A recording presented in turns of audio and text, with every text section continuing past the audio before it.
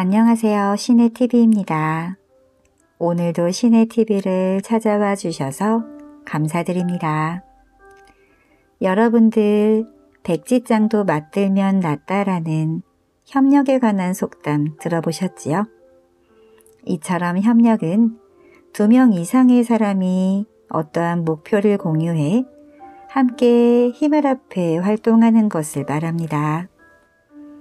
둘이 함께하면 어려운 일을 힘을 반만 들여서 할 수 있게 되는 것뿐 아니라 혼자서는 절대 할 수 없던 일을 둘이서는 할 수 있게 되기도 하지요.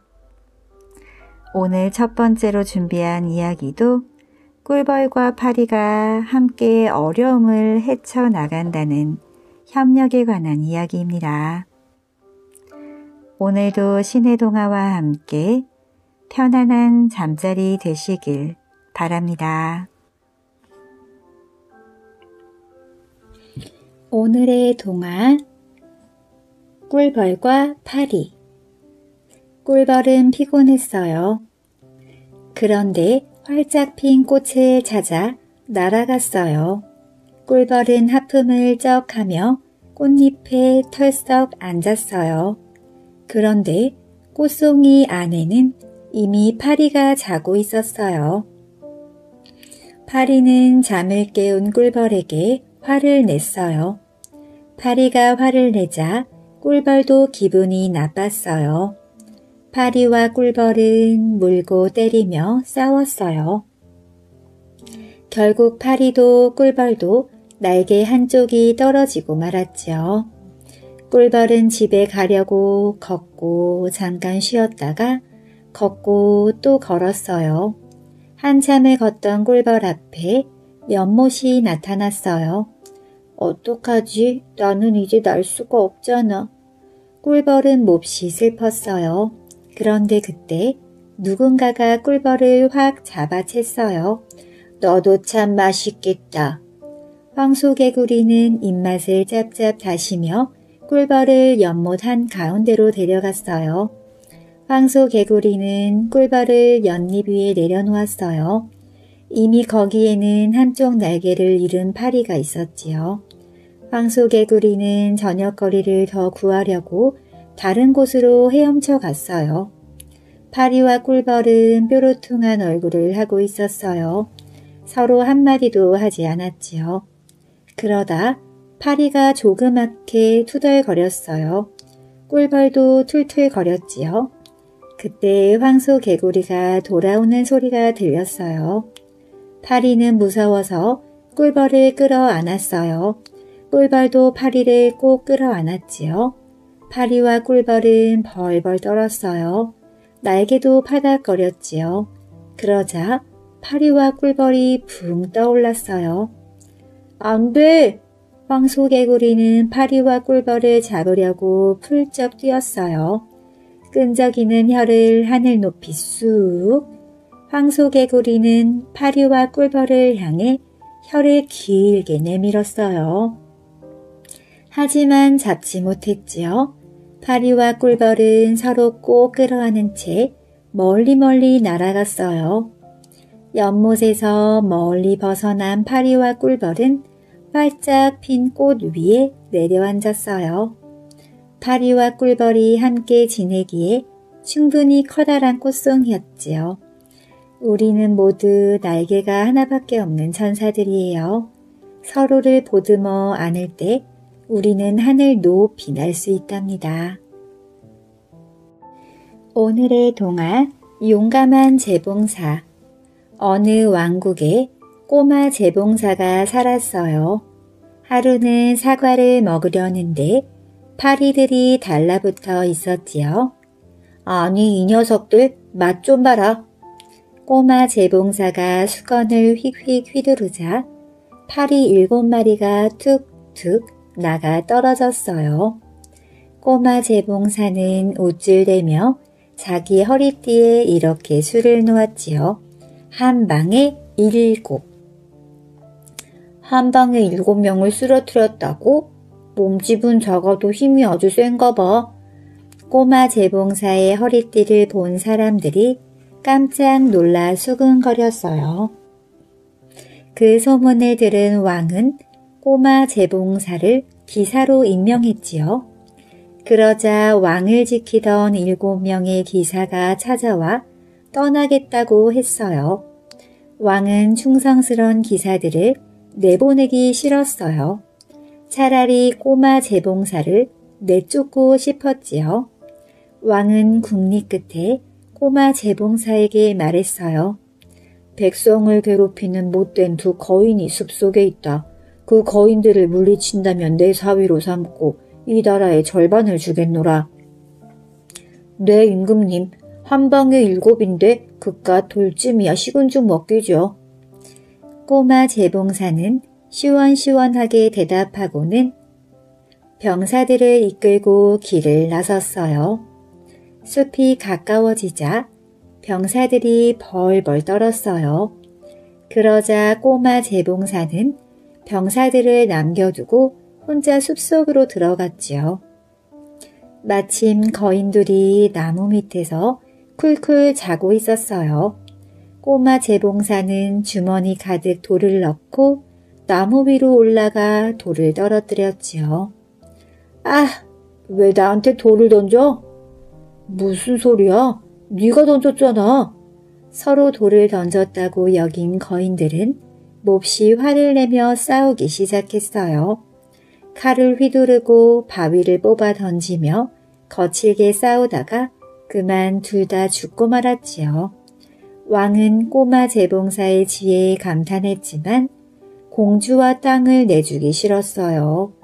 그래서 또 다른 명령을 내렸지요. 숲속에 사는 뿔 달린 난폭 한 마리를 잡아오너라. 꼬마 재봉사는 이번에도 거침없이 대답했어요. 한 방에 일곱인데 말 한 마리쯤 문제 없어요. 잠깐 사나운 멧돼지도 잡아오너라. 네, 임금님 걱정 마세요. 꼬마 재봉사는 이번에도 혼자 숲속에 들어갔어요. 저기 긴 뿔이 달린 말이 있군. 뿔 달린 말은 꼬마 재봉사를 보자 달려들었어요. 꼬마 재봉사가 살짝 피하자 아주 아주 긴 뿔이 그만 나무에 콕 박혀 꼼짝 못하게 되었지요. 사나운 멧돼지는 어떻게 잡았을까요? 꼬마 재봉사는 멧돼지를 잔뜩 약 올린 다음 아주 작은 오두막 성당으로 도망쳤어요. 화가 난 멧돼지가 꼬마 재봉사를 뒤쫓다가 그만 오두막 성당 안에 몸이 끼어 옴짝달싹 못했지요. 그 틈에 꼬마 재봉사는 재빨리 빠져나왔고요. 아니 이럴 수가. 왕은 깜짝 놀라서 입이 쩍 벌어졌어요. 이제 더 이상 약속을 미룰 수 없었지요. 왕은 내키지 않았지만 공주와 꼬마 재봉사를 결혼시켰어요. 사위가 재봉사라는 건 꿈에도 모른 채 말이에요. 어느 날 밤 공주와 행복한 날을 보내던 꼬마 재봉사가 잠꼬대를 했어요. 쉴과 바늘이 어디 있지? 옷을 꿰매야 하는데. 어머, 내 남편이 재봉사였다니. 공주는 깜짝 놀라 왕에게 일러 바쳤어요. 오늘 밤 그 녀석이 잠들면 문을 열어놓아라. 왕이 공주에게 일러두었어요. 밤이 되자 병사들이 문 밖에서 기다렸어요. 꼬마 재봉사가 잠들면 바다에 갖다 버리려고요. 그때 꼬마 재봉사가 또다시 잠꼬대를 했어요. 한 방에 일곱 무서운 거인도 둘이나 물리쳤지. 사나운 불 달린 말과 멧돼지도 잡았는데 문 밖에서 벌벌 떠는 사람들을 겁내겠어. 그 소리에 놀란 병사들은 허둥지둥 달아났지요. 꼬마 재봉사는 다 알고 있었어요. 한 병사가 왕의 계획을 몰래 알려주었거든요. 이제 꼬마 재봉사는 아무런 걱정이 없어요. 그 뒤로 아무도 꼬마 재봉사에게 맞서지 않았어요. 또 백성들은 용감한 꼬마 재봉사를 아주 좋아했으니까요. 꼬마 재봉사는 세상에서 가장 지혜로운 왕이 되었답니다. 오늘의 동화 할머니의 담요 눈이 소복소복 쌓인 깊은 산속 작은 마을에 바바자라 할머니가 살고 있었어요. 할머니에겐 낡고 널찍한 이야기 담요가 있었어요. 아이들은 그 위에 옹기종기 모여 할머니가 조근조근 들려주는 이야기를 듣곤 했지요. 어느 날 니콜라이의 신발에 난 동그란 구멍이 할머니 눈에 띄었어요. 아이들이 모두 돌아간 뒤 할머니는 생각했어요. 니콜라이에게 예쁘고 따스한 양말을 떠줘야겠구나. 그런데 그해 겨울에는 눈이 하도 많이 와서 털시 장수가 마을까지 들어올 수가 없었어요. 털시에도 없는데 양말을 어떻게 들 수 있겠어요? 뜻이 있는 곳에 길이 있는 법이지. 곰곰이 생각해 봐야겠다. 할머니는 향긋한 차를 한 잔 따랐어요. 그러면 생각이 잘 나거든요. 어머나, 새 모금도 채 마시기 전에 좋은 생각이 반짝 떠올랐답니다. 이야기 담요를 조금 풀어서 그 실로 양말을 뜨면 되겠구나. 모두 새근새근 잠든 깊은 밤, 할머니는 더듬더듬 눈길을 헤치고 니콜라이네 집문 앞에 양말을 살짝 놓고 왔어요.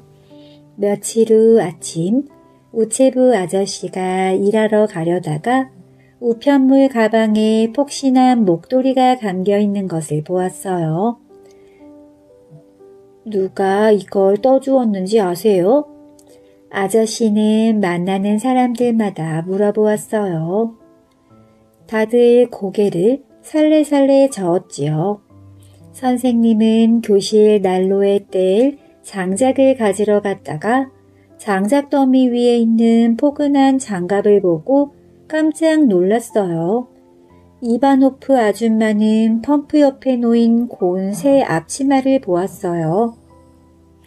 아줌마는 앞치마를 펄럭여서 빨랫줄에 앉아있던 갈, 까마귀 떼를 쫓았지요. 좀 먹은 쇼를 두르고 다니던 반찬가게 아줌마는 살랑살랑 새 쇼를 쓰게 되었고요. 할머니의 이야기를 들으러 온 아이들은 이제 담요 위에서 서로 바싹 다가 앉아야 했어요. 이게 웬일일까요? 날마다 마을 사람들은 고개를 갸우뚱거렸어요. 아기 올가는 포근포근한 새 담요에 쏙 들어가 놀았어요.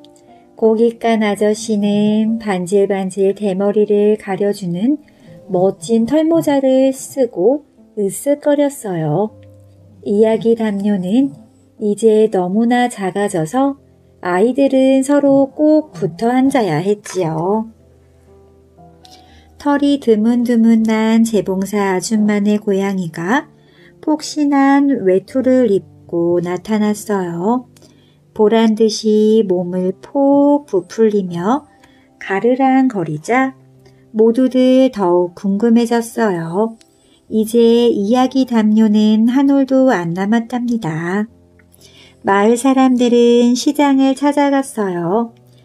이제 도대체 어떻게 된 일인지 묻고 싶어서거든요. 시장이 대답했어요. 바바자라 할머니께서 늘 하시던 말씀 알지요? 뜻이 있는 곳에 길이 있다. 모두 한데 모인 양말, 목도리, 장갑, 앞치마, 숄, 모자, 아기 담요, 그리고 외투 입은 고양이를 보세요. 할머니네 낡은 이야기 담요같이 생겼어. 근데 이제는 그 담요가 없어요. 니콜라이가 말했어요. 그렇구나. 시장이 말했어요. 할머니는 담요를 풀어서 이 모든 것을 짜신 거야. 그럼 이제 우리가 할머니께 깜짝 선물을 드릴 차례구나. 할머니가 잠든 사이에 집집마다 담요에서 털실을 풀어냈어요. 그리고 털실 뭉치들을 할머니네 집 앞에 갖다 놓았지요. 아침에 문을 열던 할머니는 아이고 머니나 깜짝 놀랐어요. 세상에 그렇게 많은 털실과 그렇게 알록달록한 색깔은 처음 보았거든요. 털실 위에는 이런 글귀가 있었어요. 할머니, 이야기 담요를 새로 짜주세요. 아이들은 이야기를 들으러 할머니네로 갔어요. 알록달록 예쁜 새 담요가 환하게 반겨주었어요. 아이들은 그 위에 옹기종기 모여 이야기를 들었어요. 서로 나누며 사는 어느 마을의 이야기였지요. 아이들이 집으로 돌아갈 시간이 되자 할머니는 잘 가라며 아이들을 하나하나 껴안아 주었어요. 그런데 알렉산드라의 스웨터에 난 구멍이 보이잖아요. 할머니는 알렉산드라에게 깜짝 선물을 주고 싶었어요. 하지만 언덕에 쌓인 눈이 아직도 안 녹아서 마을 어디서도 털실을 구할 수 없었지요. 할머니는 뜻이 있는 곳에 길이 있다는 것을 잘 알고 있었어요. 그래서 가짠 이야기 담요를 바라보며 빙그레 웃었답니다. 오늘의 동화 물동이 이야기 옹기장이는 매일 옹기를 만드는 데 필요한 흙을 찾아서 언덕배기로 올라가요. 그리고 한참을 헤매다 적당한 흙을 발견하면 이렇게 중얼거리지요. 음, 좋아. 흙은 옹기장이를 빤히 올려다 보았어요. 옹기장이는 흙을 자루에 푹푹 퍼 담았지요. 아, 답답해. 날 내려줘요. 흙이 소리쳤어요. 하지만 옹기장이는 아랑곳하지 않고 흙자루를 메고 집으로 향했어요. 옹기장이는 흙반죽을 주물러 대다가 물레에 올려놓았어요. 옹기장이는 물레를 돌리며 흙반죽을 만지작거렸어요. 흙반죽은 점차 커다란 물동이 모양으로 변해갔지요. 그리고 뜨거운 옹기가마 안으로 들어가 불에 달궈졌어요. 흙은 마침내 물동이가 되었어요. 물동이가 된 흙은 슬펐어요. 이젠 씨앗을 품을 수 없게 되었으니까요. 씨앗이 싹을 틔우는 것도 볼 수 없을 거예요. 싹이 커갈 때 두근거리는 느낌도 가질 수 없겠지요. 바람에 흙먼지를 일으키며 장난칠 수도 없을 거예요. 난 물동이가 싫어. 물동이는 울고만 싶었어요. 며칠 후에 물동이는 시장 바닥에 앉아 있었어요. 옹기장이가 팔려고 내놓은 것이었어요. 난 아무데도 안 갈 거야. 물동이는 화가 나서 소리쳤어요. 이거 얼마예요? 어떤 아줌마가 물동이를 만지며 물었어요. 싫어. 난 싫단 말이야. 물동이는 아줌마의 거친 손이 싫었어요. 언덕배기로 돌아가고만 싶었지요. 아줌마는 돈을 내고 물동이를 샀어요. 자, 집에 가자. 아줌마는 물동이를 머리에 이었어요. 한 손으로 물동이를 받치고 걷기 시작했지요. 그러자 흔들흔들 물동이의 몸이 흔들렸어요. 이야, 신난다. 물동이는 점점 기분이 좋아졌어요. 흙먼지를 일으키며 장난을 칠 때처럼 신이 났어요. 하늘을 나는 것 같았지요. 물동이가 소리쳤어요. 난다 하늘을 날고 있어.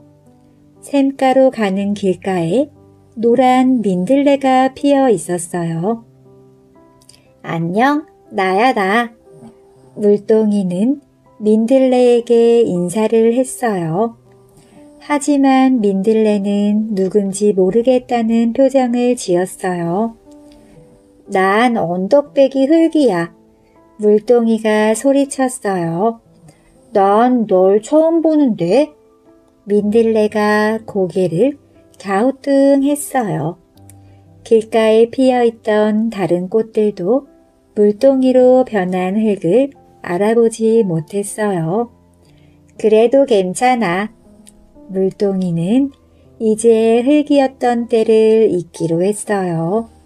자신이 물동이라는 것을 받아들이기로 했지요. 샘물아 안녕? 물동이는 샘물에게 인사를 건넸어요. 안녕? 샘물이 다정한 목소리로 대답했어요. 어느덧 가을이 가고 겨울이 왔어요. 길가에 하얀 눈이 쌓였어요. 물동이의 머리 위에도 눈이 쌓였지요. 눈이 녹고 다시 봄이 왔어요. 그렇게 여러 해가 지나갔어요. 물통이요! 양철 물통이 왔어요! 언제부턴가 물통 장수가 나타났어요. 여기요! 여기도요! 사람들은 너도 나도 양철 물통을 샀어요. 너도 물을 날랐다며? 지나가던 양철 물통이 물동이를 보며 빈정거렸어요. 나처럼 가벼워야 사람들이 좋아하지. 안 그래? 양철 물통이 뽐내며 으스댔어요. 흙으로 만든 옹기 물동이는 무거웠어요. 물동이는 아무 대답도 하기 싫었어요. 쉬니까 좋지? 양철 물통이 또다시 지나가며 말했어요. 누굴 약 올리는 거야? 물동이가 소리쳤어요. 아니면 말고. 양철 물통이 희죽거리며 사라졌어요. 이젠 무얼 해야 하지? 물동이는 할 일이 아무것도 없었어요. 난 이제 흙도 아니고 물동이도 아니야. 물동이는 슬퍼졌어요. 쓸모 없어진 거야. 장독대 한쪽 구석에서 물동이는 별을 바라보았어요. 새싹을 안고 있지 않아도 좋아. 샘물을 나르지 못해도 좋아. 뭔가 할 수만 있다면. 하지만 물동이가 할 일은 아무것도 없었어요.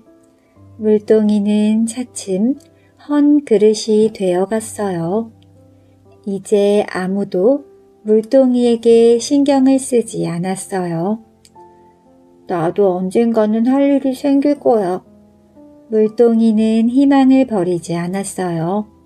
똑같은 하루하루가 지나갔어요. 난 포기하지 않아. 물동이는 다짐도 해보았어요. 그렇지만 변한 것은 하나도 없었어요. 볕이 따뜻한 날이었어요. 고물장수가 장독대로 다가왔어요. 물동이 가져가도 돼요? 고물장수가 아줌마에게 물었어요. 필요 없으니 가져가세요. 아줌마가 대답했어요. 보지도 않고 대답하다니. 물동이는 그런 아줌마가 서운했어요. 고물장수가 물동이를 손수레에 실었어요. 물동이는 손수레를 타고 고물상으로 갔어요. 고물상에는 물건들이 많았어요. 마당 가득 산더미처럼 물건들이 쌓여 있었어요. 물동이는 마당 한쪽에 자리를 잡았어요. 안녕? 옆에 있던 헌책이 인사했어요. 안녕. 물동이도 헌책에게 인사했어요. 우리 모두 새 주인을 기다리고 있어. 헌책이 말했어요. 며칠 후 헌책이 팔려 나갔어요. 정말 새로운 주인이 나타난 거예요. 다음 날이었어요. 돗자리와 비닐 우산이 새로 들어왔어요. 안녕, 물동이는 새로운 친구들에게 인사를 건넸어요. 안녕. 새로운 친구들이 물동이에게 반갑게 인사했어요. 우린 모두 새 주인을 기다리고 있어. 물동이는 헌책이 한 것처럼 말해 주었어요. 그러자 돗자리와 비닐 우산이 좋아했어요. 이거 얼마예요? 그때 아줌마의 고운 목소리가 들렸어요. 물동이는 귀가 번쩍 열렸어요. 바로 자신을 보고 하는 소리였거든요. 5천원만 내슈. 아저씨의 말에 아줌마가 돈을 내밀었어요. 물동이가 간 곳은 아줌마의 자그마한 꽃집이었지요. 내가 할 일이야. 아줌마가 물동이의 꽃을 꽂으며 말했어요. 꽃을 하나를 마는 물동이는 무척 행복했답니다. 오늘의 동안 사라진 괴물 옛날 어느 산골에 할아버지가 혼자 살았어요. 밥도 혼자 먹고 일도 혼자 하고 잠도 혼자 잤지요. 그러니 쓸쓸하기도 하고 심심하기도 했어요. 하루는 할아버지가 먹다 남은 밥알을 조물락 조물락 가지고 놀았어요. 한참을 주무르다 보니 제법 차진 반죽이 되었어요. 할아버지는 그걸로 밤톨만한 네 발 짐승을 만들었어요. 그러고는 밭일을 하러 밖으로 나갔지요. 아무도 없는 방에 홀로 남게 되자 밤톨만한 짐승이 이리 두리번 저리 두리번 마침 방구석에 있는 반, 바늘 토막이 눈에 띄었어요. 밤톨만한 짐승이 꼬물꼬물 기어가더니만 바늘 토막을 깔짝깔짝 씹어먹지 뭐예요? 목구멍이 따갑지도 않은지 꾸역꾸역 잘도 삼켰어요. 쇠맛이 꿀맛인지 숟가락 젓가락도 죄다 먹어치웠어요. 밤톨만한 짐승이 참 별나기도 하지요. 그새 별난 짐승은 쥐만큼 자랐어요. 이제 방 안을 휘젓고 다니며 쇠붙이를 찾아 먹었어요. 아랫목으로 조르르 기어가 가위도 야금야금 씹어먹고 윗목으로 조르르 기어가 인두도 야금야금 씹어먹었지요. 찰칵 찰칵 쇠맛 좋다. 짐승은 쇠 문고리까지 뜯어먹고 밖으로 나갔어요. 그러고는 곧장 마을로 내려갔지요. 그새 별난 짐승은 개만큼 자랐어요. 이제 마을을 휘젓고 다니며 쇠붙이를 찾아 먹었어요. 갑돌이네 부엌으로 발발발 달려가 부엌할 솥단지 아작아작 씹어먹고 을순이네 헛간으로 발발발 달려가 괭이, 호미, 삽까지 죄다 집어삼켰지요. 찰칵 찰칵 새맛 좋다. 그 꼴을 본 마을 사람들은 한숨이 저울로 나와 아이고 못 살겠네.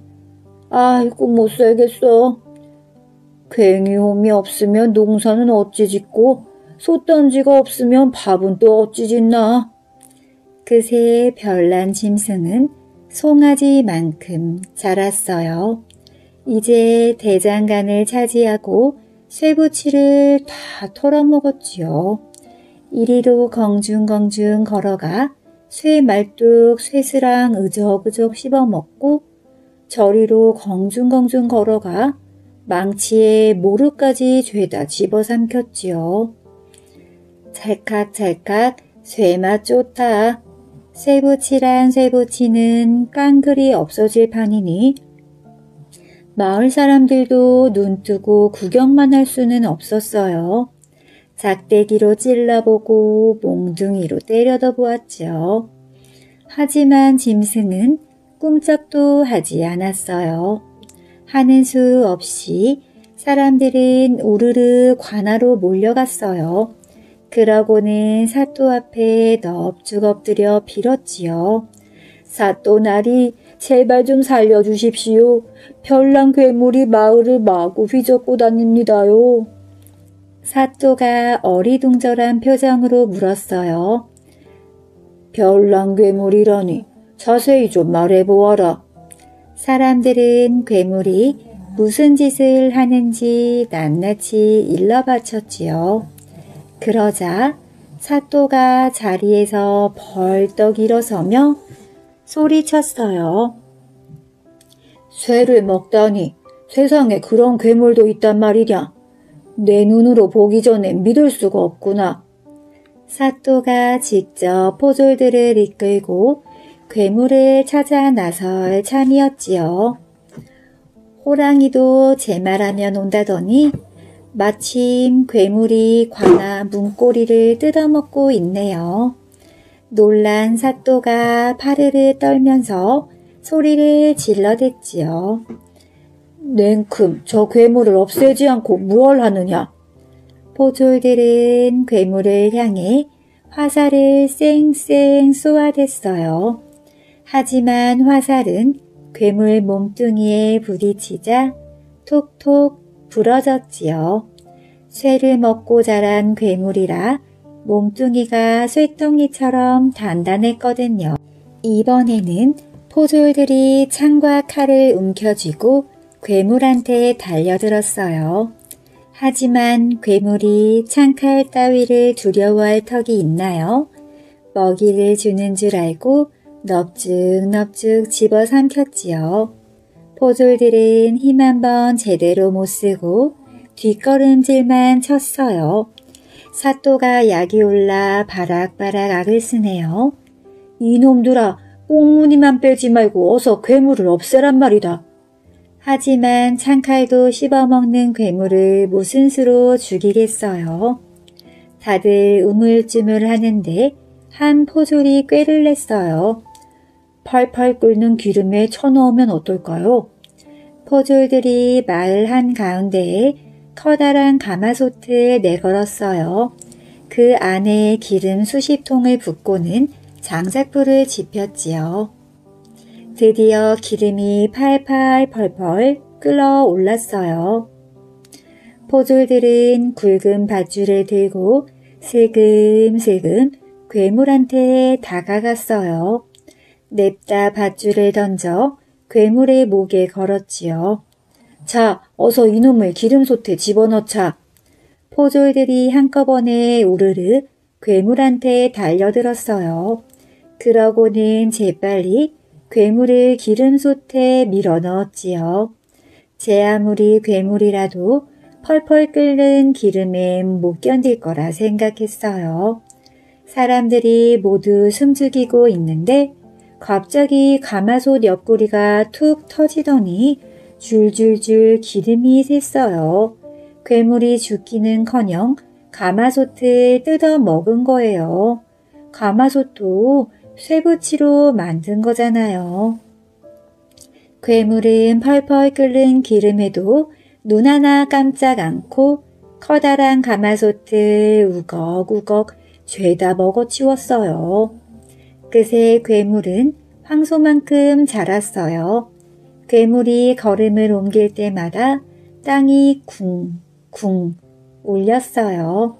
쇠 냄새를 찾느라 코를 킁킁거리며 쇠붙이란 쇠붙이는 닥치는 대로 집어삼켜 하지만 사또는 어쩔 줄 몰라 발만 동동 구르고 있었지요. 창칼로도 못 죽이고 끓는 기름도 소용없고 무쇠 괴물 어쩔 거나 무슨 수로 없애겠나. 모두들 괴물이 하는 짓을 멍하니 바라만 보았지요. 그때 구경하던 한 사내 아이가 손뼉을 짝 치면서 외쳤어요. 아, 쇠를 녹이는 건 불이에요.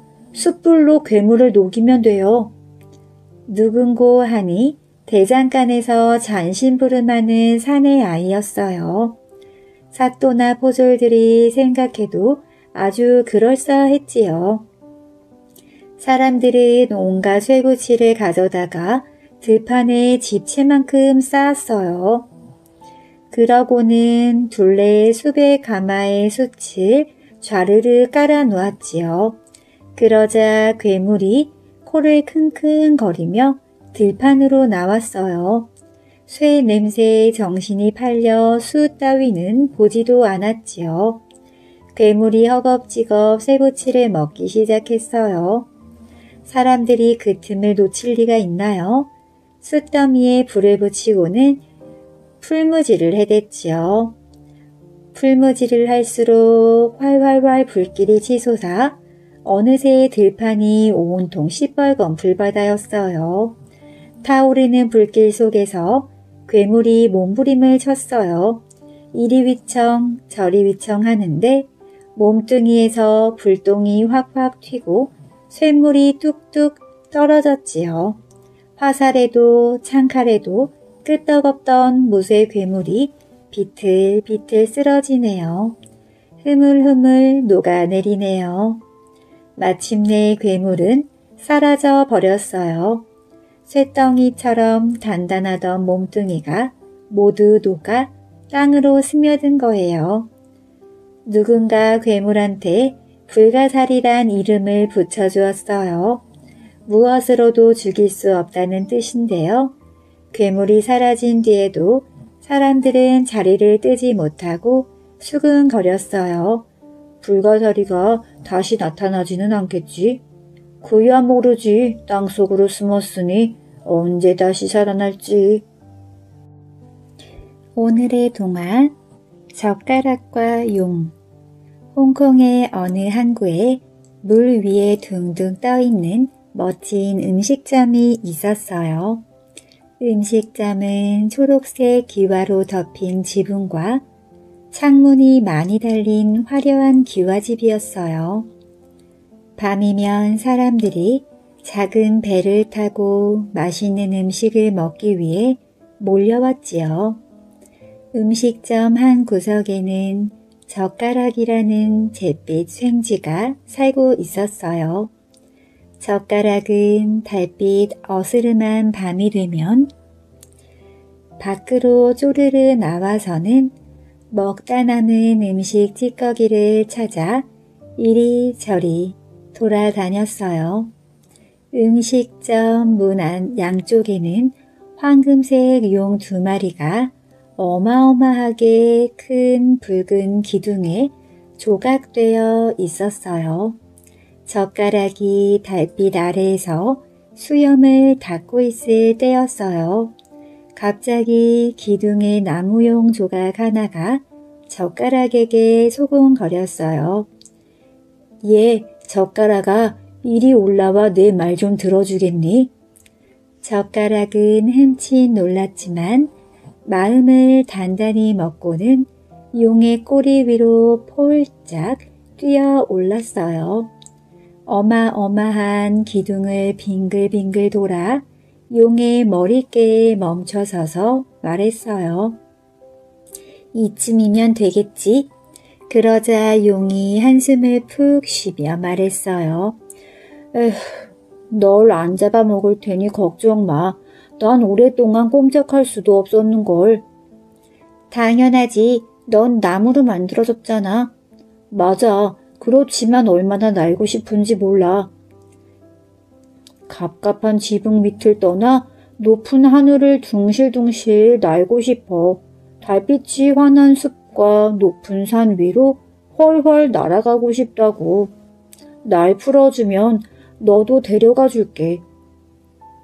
젓가락은 고개를 절레절레 흔들었어요. 하지만 난 널 풀어줄 수가 없어. 그러자 용이 눈을 반짝이며 말했어요. 푸 할아버지라면 하실 수 있어. 오래전에 나와 형을 조각한 분이시거든. 그때도 나이가 많아 눈이 잘 안 보이셨는데. 젓가락아, 네가 가서 푸 할아버지께 부탁 좀 해줄래? 이튿날 아침 젓가락은 배를 타고 나무 조각장을 찾아갔어요. 푸 할아버지는 작은 배에서 혼자 살고 있었지요. 젓가락은 식탁 위에 폴짝 올라가 말했어요. 할아버지께서 나무 용을 움직이는 법을 아신다면서요? 프 할아버지가 껄껄 웃으면서 말했어요.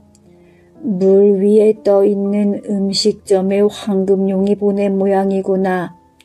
언젠가 그 녀석이 날고 싶어 할 줄 알았다. 내가 마지막으로 만든 가장 훌륭한 용이거든. 푸 할아버지는 나무 피리를 꺼냈어요. 이 노랫가락을 잘 기억해 두렴. 그 가락에는 집바귀의 노랫소리와 찰랑이는 물소리가 들어있어. 할아버지, 한 번만 더 불어주세요. 젓가락은 몇 번이고 들으면서 가락을 외웠어요. 꼭 보름날 밤에 피리를 불어야 한다. 푸 할아버지가 젓가락에게 피리를 건네주었어요. 드디어 보름날 둥근 달이 두둥실 떠올라 세상을 환하게 비추었어요. 젓가락은 용의 어깨 위에 앉아 할아버지가 가르쳐 준 대로 피리를 불었어요. 그러자 나무용이 꿈틀꿈틀 기지개를 펴더니 기둥에 감긴 몸을 천천히 풀었어요. 어서 타, 함께 여행을 가자. 젓가락은 용의 머리 위에 올라앉아 기다란 수염을 꼭 쥐었어요.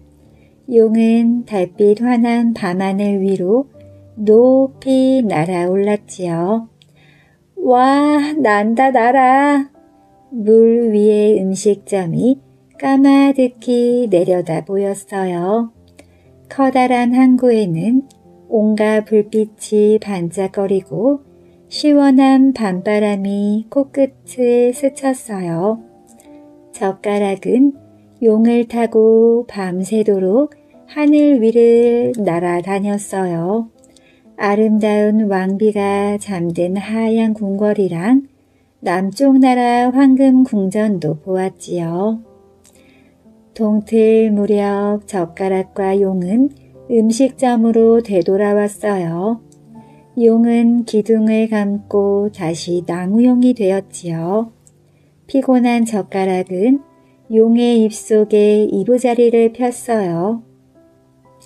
그 뒤로 보름달이 뜰 때면 용과 젓가락은 지붕 위로 힘껏 날아올라 불빛 찬란한 도시와 달빛 비치는 숲, 높은 산 위로 날아다녔답니다.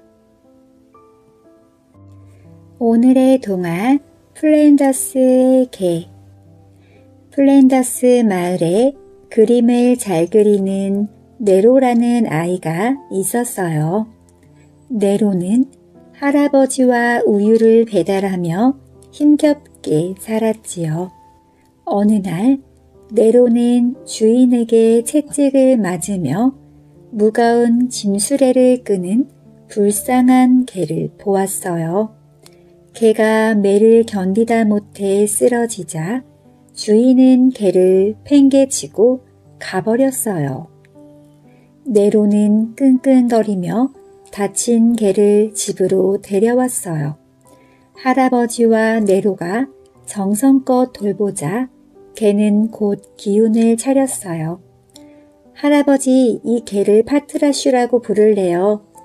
파트라슈도 자기의 이름이 좋은지 꼬리를 살랑거렸지요. 며칠 뒤 네로와 할아버지가 우유 배달을 나서는데 파트라슈가 수레를 턱 막아서는 거예요. 파트라슈, 수레를 끌고 싶니? 이날부터 네로는 파트라슈와 단짝이 되어 함께 우유를 배달했어요. 네로의 친구 아로아도 파트라슈를 무척 좋아했어요. 셋은 이따금 들판으로 놀러 갔지요. 아로아의 생일이 며칠 앞으로 다가왔어요. 아로아, 생일 선물로 널 그려줄게. 하지만 아루아의 아버지 코제츠 씨는 딸이 가난한 네로와 어울리는 게 못마땅했지요. 어느 날 네로는 들판에서 그림을 그리고 있었어요.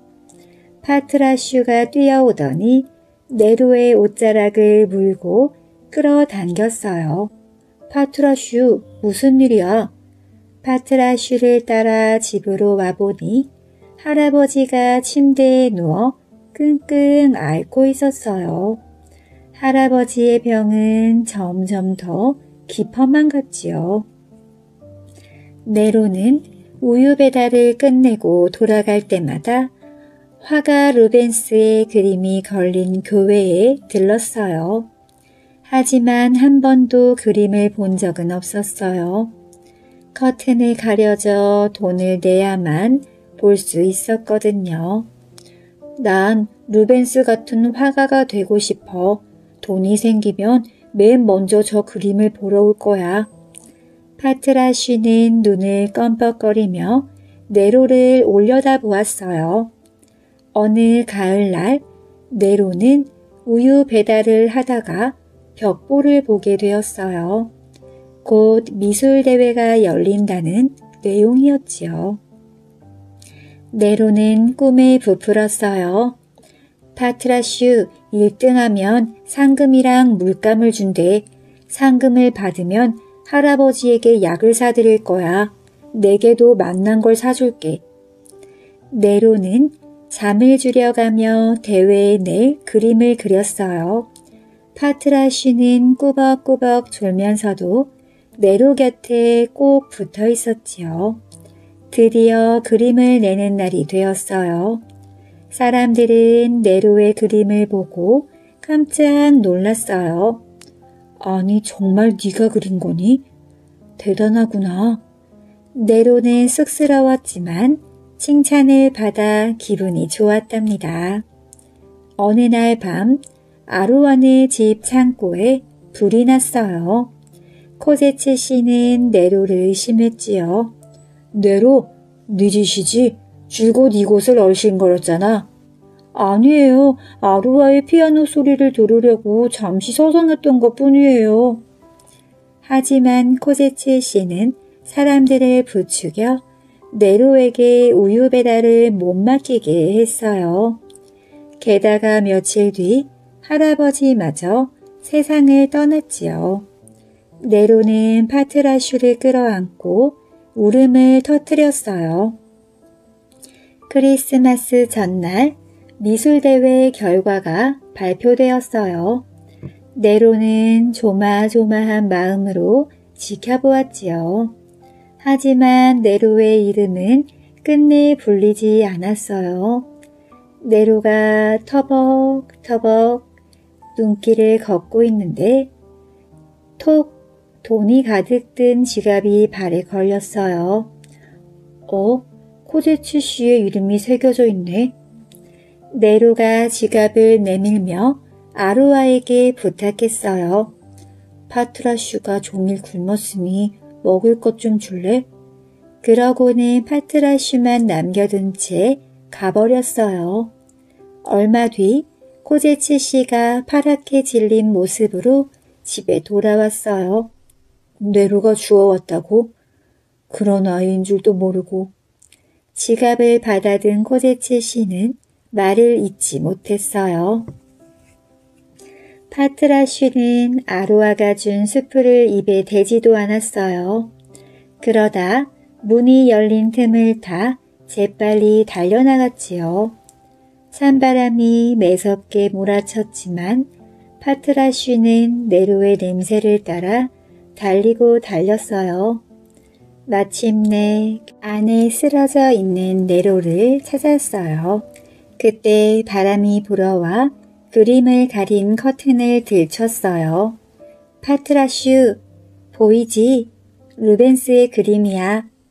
네로의 뺨 위로 기쁨의 눈물이 흘러내렸어요. 크리스마스 날 아침 네로와 파트라슈는 꼭 껴안고 죽어 있었어요. 한 화가가 네로를 찾아왔다가 몹시 안타까워 했어요. 내 그림이 진짜 최우수 상감이었단다. 제자로 삼으려고 찾고 있었는데 아루아는 네로를 끌어안고 슬피 울었어요.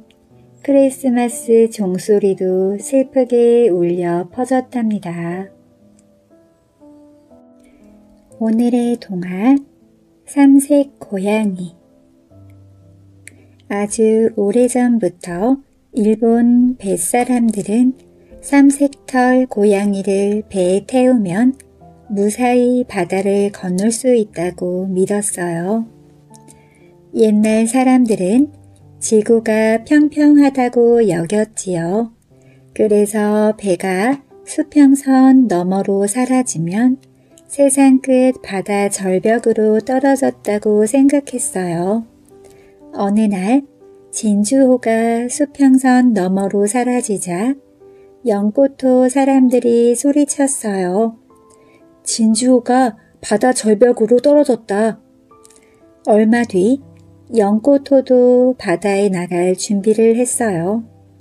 때마침 삼색털 고양이 한 마리가 도둑가에서 꾸벅꾸벅 졸고 있었어요.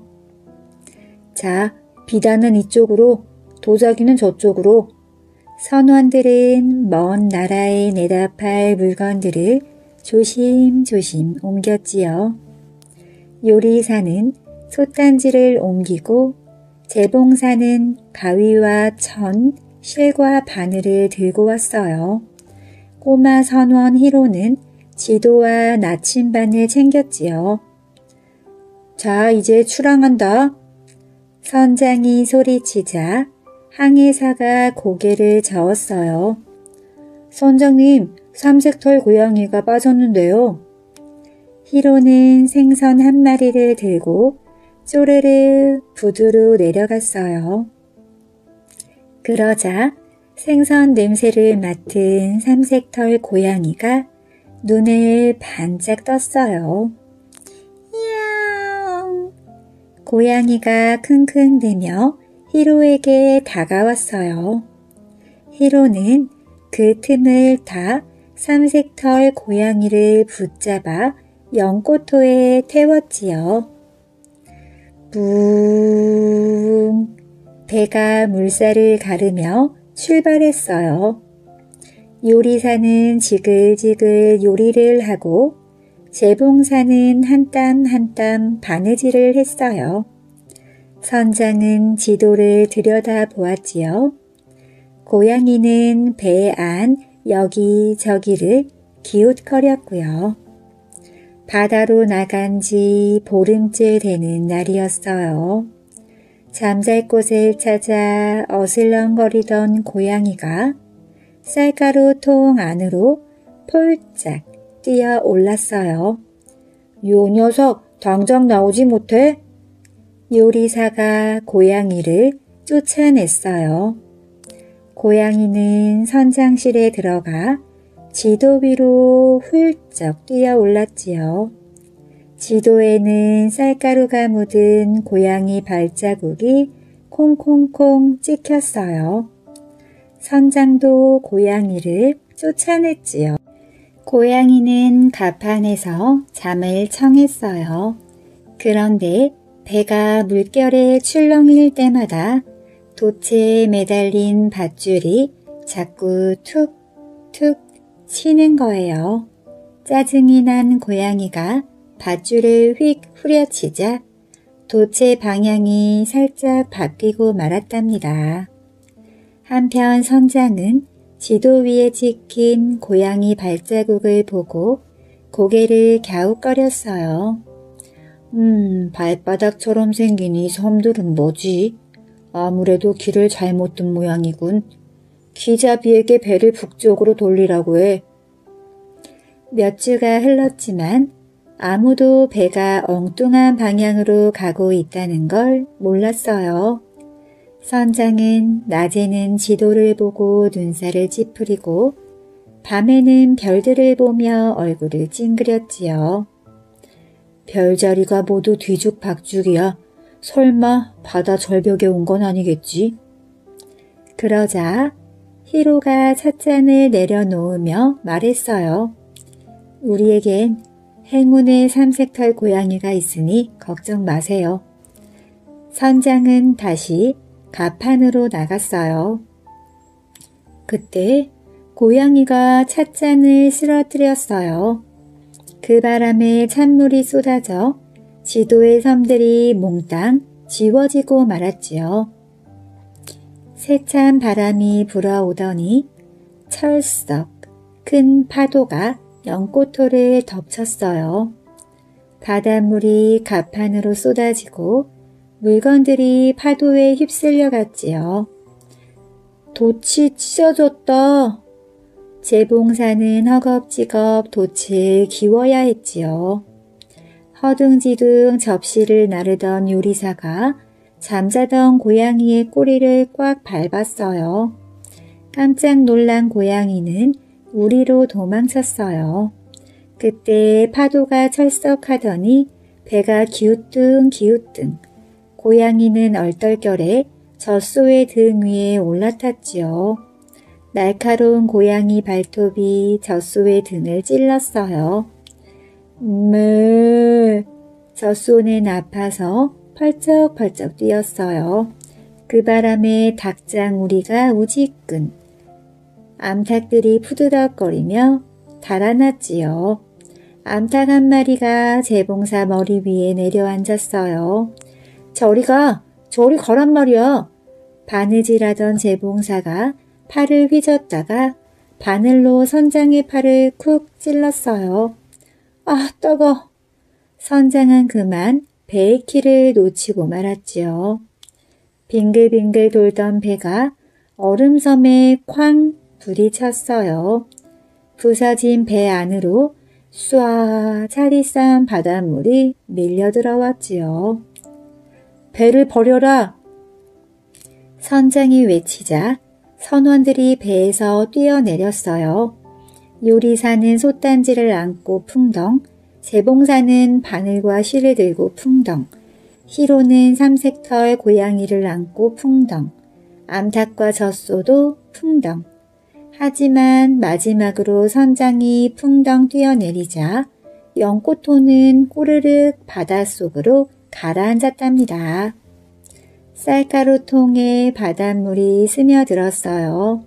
쌀가루가 퉁퉁 불더니 통이 펑 터졌어요.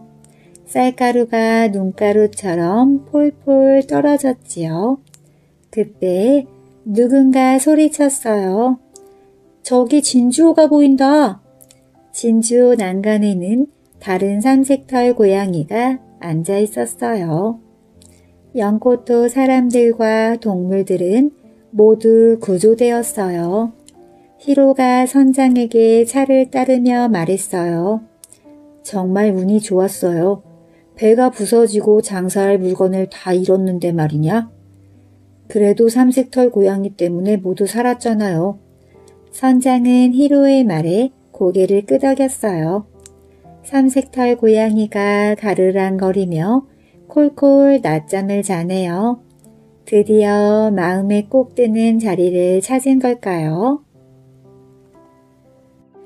오늘의 동화 공주와 공자춤 옛날 옛적 라오 왕국에 폰나봉이라는 왕자가 있었어요. 폰나봉 왕자는 아주 잘생기고 지혜롭고 착한 왕자였답니다. 어디 한 군데 빠지는 것이 없어 딸을 가진 신하라면 누구나 자기 딸을 왕자에게 시집 보내고 싶어 했지요. 왕자는 매일같이 신부감을 만나야 했지만 그 누구도 마음에 들지 않았어요. 그 가운데에는 재상의 딸도 있었는데 그 아가씨는 욕심이 많고 정직하지 않았어요. 그래서 보기 좋게 퇴짜를 맞았지요. 어느 날 폰나봉 왕자는 호위병들과 함께 사냥을 나갔어요. 언제나 왕자를 따라다니는 사냥개와 꾀꼬리도 함께 갔지요. 사냥감을 쫓아 이리저리 헤매다 보니 궁전에서 아주 멀리 떨어진 호수까지 와버렸어요. 호수는 얼마나 넓은지 끝이 보이지 않는 바다 같았어요. 멀리 수평선이 보일 정도였지요. 어느덧 날이 저물었어요. 호위병들은 다 어디로 갔는지 한 명도 보이지 않았고 사냥개와 꾀꼬리만이 왕자 곁에 남아 있었어요. 사방이 너무 어두워 왕궁으로 돌아갈 수도 없었답니다. 그래서 왕자는 하는 수 없이 호숫가의 고목 아래에서 하룻밤을 보내기로 했어요. 새벽녘에 잠이 깬 왕자는 꿈결인 듯 어슴불에 반짝이는 호수를 바라보았어요. 바로 그때였지요. 수평선 위에서 무언가 반짝이는가 싶더니 반딧불이 같은 일곱 개의 빛이 나타났어요. 빛은 왕자가 있는 쪽으로 서서히 다가왔어요. 다가올수록 점점 더 커지고 점점 더 밝아졌지요. 왕자는 얼른 일어나 고목 뒤로 몸을 숨겼어요. 호수 가장자리까지 날아온 그 빛은 놀랍게도 아름다운 공작이었어요. 일곱 마리의 오색 찬란한 공작들이었지요. 왕자는 눈이 휘둥그레져서 숨을 죽이고 바라보았답니다. 공작들은 호수 위를 부드러운 날개짓으로 몇 바퀴 돌더니 사뿐히 내려앉았어요. 그리고는 깃털 옷을 벗기 시작했어요. 그러자 보름달처럼 환하고 아름다운 일곱 아가씨가 모습을 드러냈답니다. 너무 놀란 왕자는 입까지 딱 벌어졌어요. 일곱 아가씨는 저마다 빼어나게 아름다웠으니까 말이에요. 그 가운데서도 일곱 번째 아가씨가 왕자의 마음에 쏙 들었답니다. 그렇게 찾고 찾던 신부감을 이런 곳에서 찾게 될 줄 어찌 알았겠어요. 왕자는 하늘이 내려준 기회라고 생각했지요. 일곱 아가씨들은 왕자가 보고 있는 줄도 모르고 몸을 씻고 물장난을 치며 즐겁게 놀았답니다. 아가씨들의 웃음소리가 호수 위로 잔잔한 물결처럼 퍼져나갔어요. 왕자는 사냥개를 시켜 일곱 번째 아가씨의 깃털 옷을 몰래 물고 오게 했답니다. 그리고는 사납게 지저대도록 명령했지요. 깜짝 놀란 아가씨들은 허겁지겁 깃털 옷을 입고 하늘로 날아올랐어요. 하지만 일곱 번째 아가씨는 날아갈 수 없었답니다. 언니들, 내 깃털 옷을 찾을 수가 없어요. 기다려줘요. 하지만 언니들은 오래 기다릴 수가 없었어요. 왕자의 사냥개가 너무 사납게 지저댔거든요. 여섯 마리 공작들이 다 날아가자 사냥개가 짖기를 멈추었어요. 그리고 꾀꼬리가 막내 아가씨에게 나라가 이렇게 말했어요. 달처럼 곱고 아름다운 아가씨, 아가씨의 기타롯은 저기 있어요. 저를 따라오세요.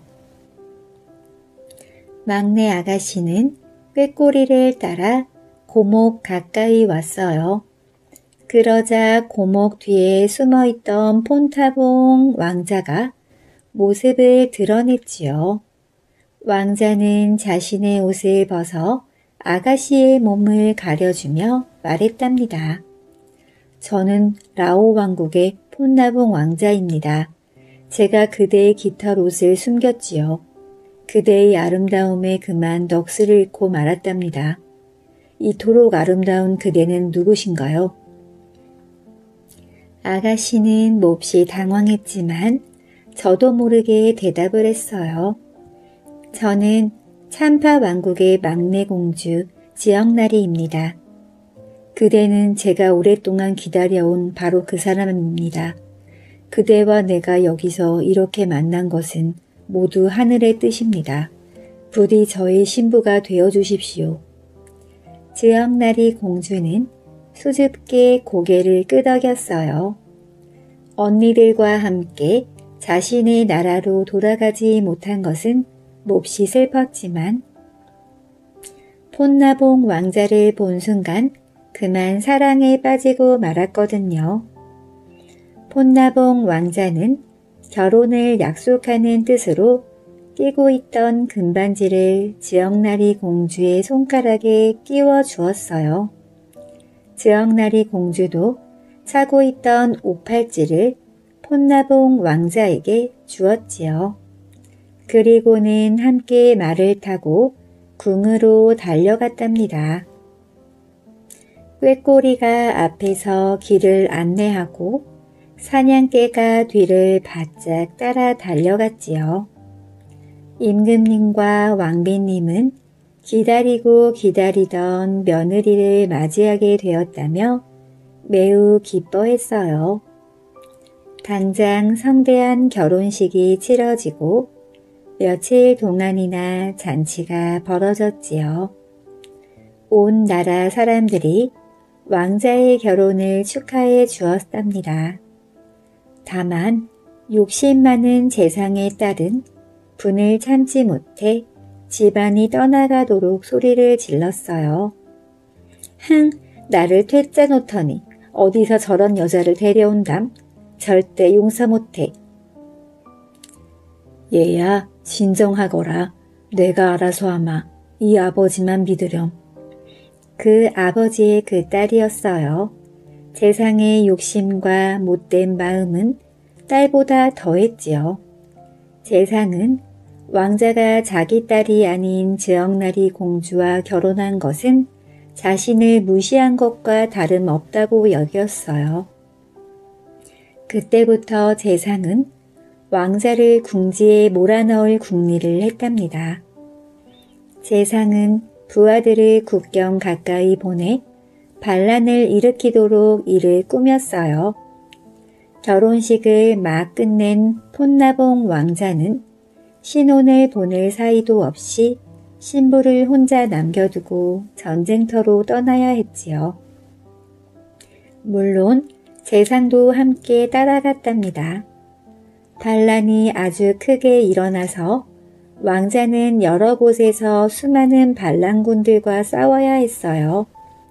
하지만 왕자는 용감하고 지혜로웠기 때문에 가는 곳마다 승리를 했지요.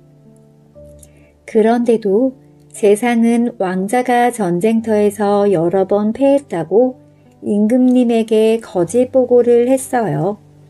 임금님은 행여나 왕자에게 나쁜 일이 일어날까봐 걱정이 이만저만이 아니었답니다.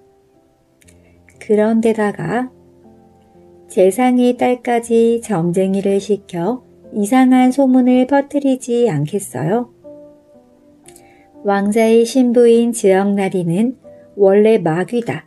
왕자를 죽이려고 사람으로 태어난 것이다. 이번 반란도 지역나리가 꾸민 짓이다. 이 소문을 들은 임금님은 몹시 놀랐어요. 폰나본 왕자는 임금님의 하나밖에 없는 귀한 아들이었거든요. 무슨 일이 있어도 왕자를 보호해야만 했어요. 소문을 고지곧대로 믿은 임금님은 지역나리 공주를 화영시키라는 명령을 내리고 말았답니다. 화영대 위에 오른 지역나리 공주는 너무나 슬펐어요. 자신을 믿고 감싸줄 수 있는 유일한 사람은 지금 먼 전쟁터에 가 있었으니까예요. 지역나리 공주는 임금님에게 마지막 소원을 들어달라고 부탁했답니다. 우리 참파 왕국에서는 사형을 당하는 사람이 죽기 전에 마지막으로 하는 일이 있습니다. 다른 사람들의 복을 빌기 위해 기타롯을 입고 춤을 추는 것입니다. 부디 은혜를 베푸시어 제가 이 풍습을 따를 수 있게 허락해 주세요. 임금님은 그 부탁만은 거절할 수가 없어 지역나리 공주에게 기타롯을 가져다 주도록 했지요. 지역나리 공주는 화영대 위에서 기타롯을 입고 춤을 추었어요. 그리고 자신의 억울함을 호소하고 다른 사람들의 복을 기원하는 노래를 불렀답니다. 날아갈 듯한 춤사위와 슬프고도 아름다운 노래소리에 구경 나온 사람들은 모두 넋을 잃었어요. 정말이지 지역나리 공주가 마귀라는 소문은 믿기지 않았지요. 노래가 끝날 때쯤 신비한 일이 일어났어요. 지역나리 공주가 기타롯의 날개를 활짝 펴고 하늘 높이 날아오른 거예요. 사람들은 입을 벌린 채 흰 구름 속으로 사라져가는 지역나리 공주를 멍하니 쳐다보았답니다. 아니 한 마리 오색 찬란한 공작을 보고 있었지요. 얼마 후 폰나봉 왕자는 반란군을 모두 무찌르고 왕궁으로 돌아왔어요. 그런데 사랑하는 신부가 보이지 않는 거예요. 왕비님이 슬픈 얼굴로 지역나리 공주의 이야기를 들려주었답니다. 왕자는 가슴을 치며 몇 날 며칠을 울다가 지역나리 공주를 찾아 떠나기로 마음먹었어요. 왕궁을 나선 왕자는 곧장 그 바다 같은 호수로 달려갔어요. 그리고는 호수를 향해 소리쳐 불렀어요. 지역날이 사랑하는 나의 신부여, 그대는 어디로 간 것이오? 그러나 호수는 아무 말이 없었어요. 메아리도 들려오지 않을 만큼 고요했지요. 폰나봉 왕자는 그런 호수가 원망스럽기까지 했답니다. 그 자리에 털썩 주저앉은 왕자는 지역나리를 처음 만나던 순간을 떠올리며 눈물을 흘렸어요. 그러다가 다시 소리쳐 불렀어요. 지역나리, 제발 대답해 주오.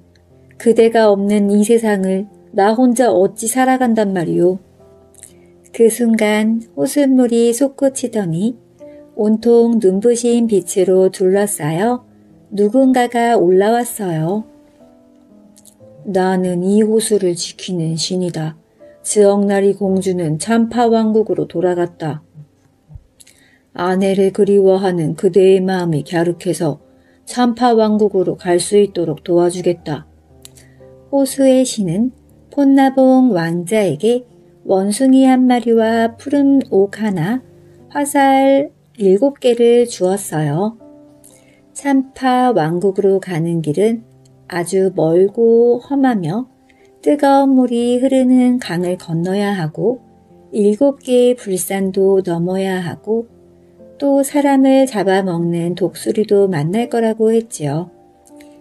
길은 원숭이가 안내해 줄 것이고 독수리를 만나면 푸른 옥을 입에 넣으라고 했어요. 그러면 몸이 아주 작아질 것이고 불산을 만나면 화살을 불산 꼭대기에 쏘라고도 얘기해 주었죠. 그러면 불이 서서히 꺼질 것이다.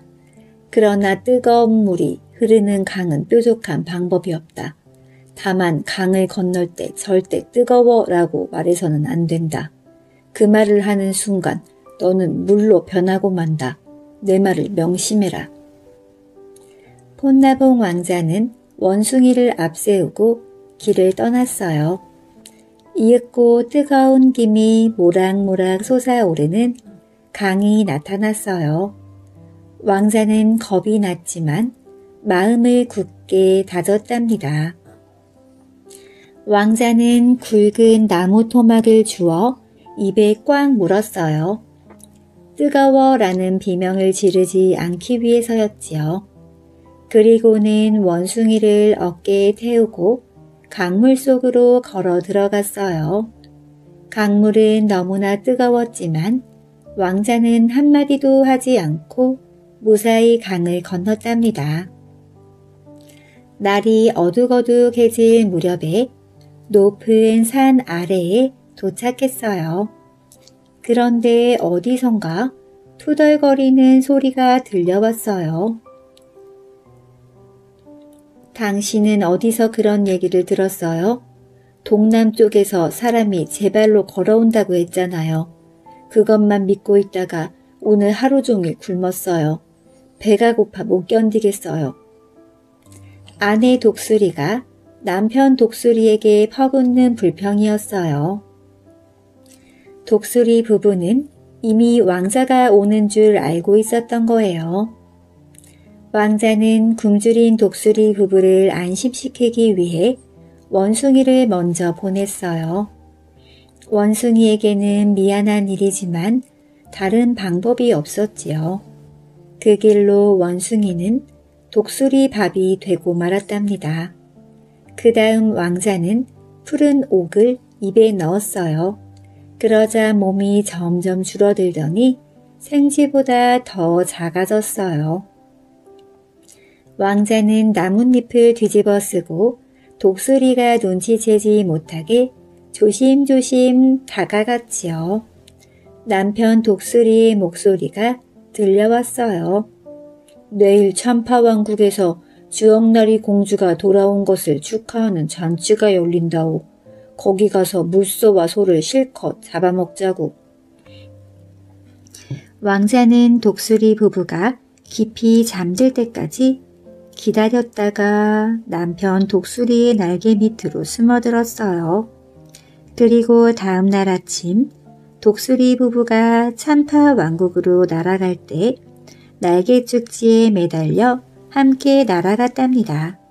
참파 왕국에서는 아침 일찍부터 성대한 잔치가 벌어지고 있었어요. 그런데 난데없이 거대한 독수리 두 마리가 나타나 사람들을 공격하는 게 아니겠어요?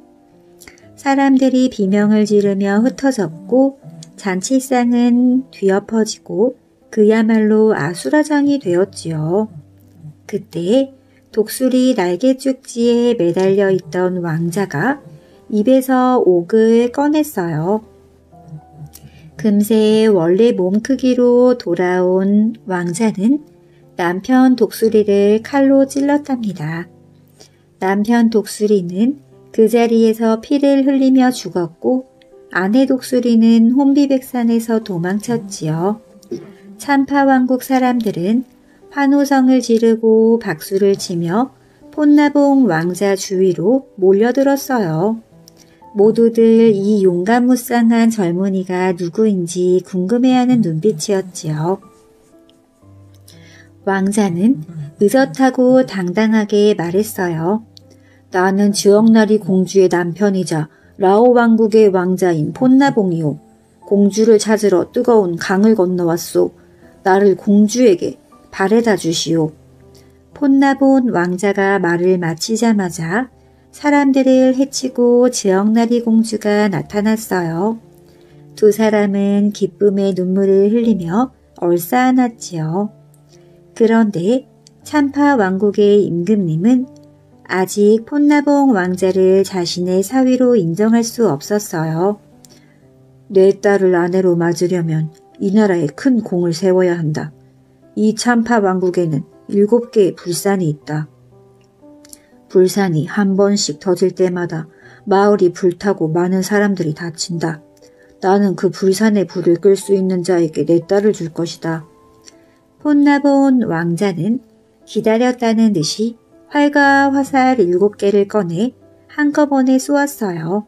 일곱 개의 화살은 제각기 일곱 불산으로 날아가 산 꼭대기에 정확히 꽂혔고 불꽃은 서서히 잦아들더니 마침내 완전히 꺼졌답니다. 그리하여 임금님의 허락을 받은 폰나봉 왕자와 지역나리 공주는 참파 왕국에서 결혼식을 한 번 더 성대하게 치른 후 라오 왕국으로 돌아왔어요. 왕자와 공주가 돌아오고 나서 재상과 그 딸이 저지른 죄가 낱낱이 드러났답니다. 두 사람은 가진 재산을 모두 빼앗기고 몸만 겨우 가린 채 나라 밖으로 쫓겨났어요. 임금님은 화영을 시키라고 했지만 마음씨 착한 지역나리 공주가 목숨만은 살려주자고 애원을 했거든요. 그 뒤로 재상과 그 딸을 본 사람은 아무도 없었다고 해요. 지역나리 공주는 언제나 공작 깃털 옷을 입고 사람들의 행복을 빌며 춤을 추고 노래를 불렀어요. 그때부터 전해진 공작춤은 오늘날 라오스에 있는 모든 춤의 기원이 되었답니다. 오늘의 동화 개와 고양이 옛날에 카미라는 어린 소년이 늙은 할머니와 단둘이 작은 오두막에 살고 있었어요. 할머니는 너무 나이가 많아 일을 할 수 없었답니다.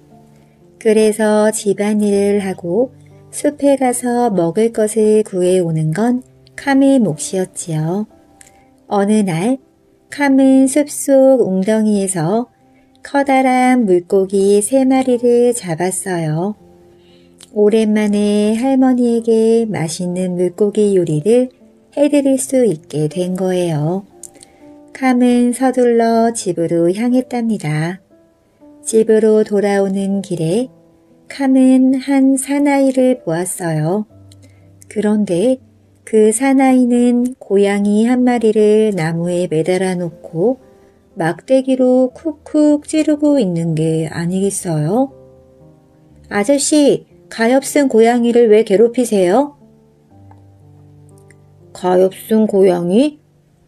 이놈은 내 물고기를 훔쳐먹은 못된 고양이야. 사나이는 화가 잔뜩 나서 씩씩거리며 계속 고양이를 쿡쿡 찔러댔어요. 캄은 물고기 세 마리와 고양이를 번갈아 바라보다가 이렇게 말했답니다. 아저씨, 저한테 커다란 물고기 세 마리가 있어요. 물고기를 모두 드릴 테니 고양이를 제게 주세요. 사나이는 얼씨구나 좋다 하며 얼른 고양이를 내주었어요. 캄은 고양이를 안고 집으로 돌아왔답니다. 고양이를 본 할머니가 물었어요. 가마, 오늘은 고양이 고기를 먹는 거니? 아니에요, 할머니. 이 고양이는 집에서 기를 거예요.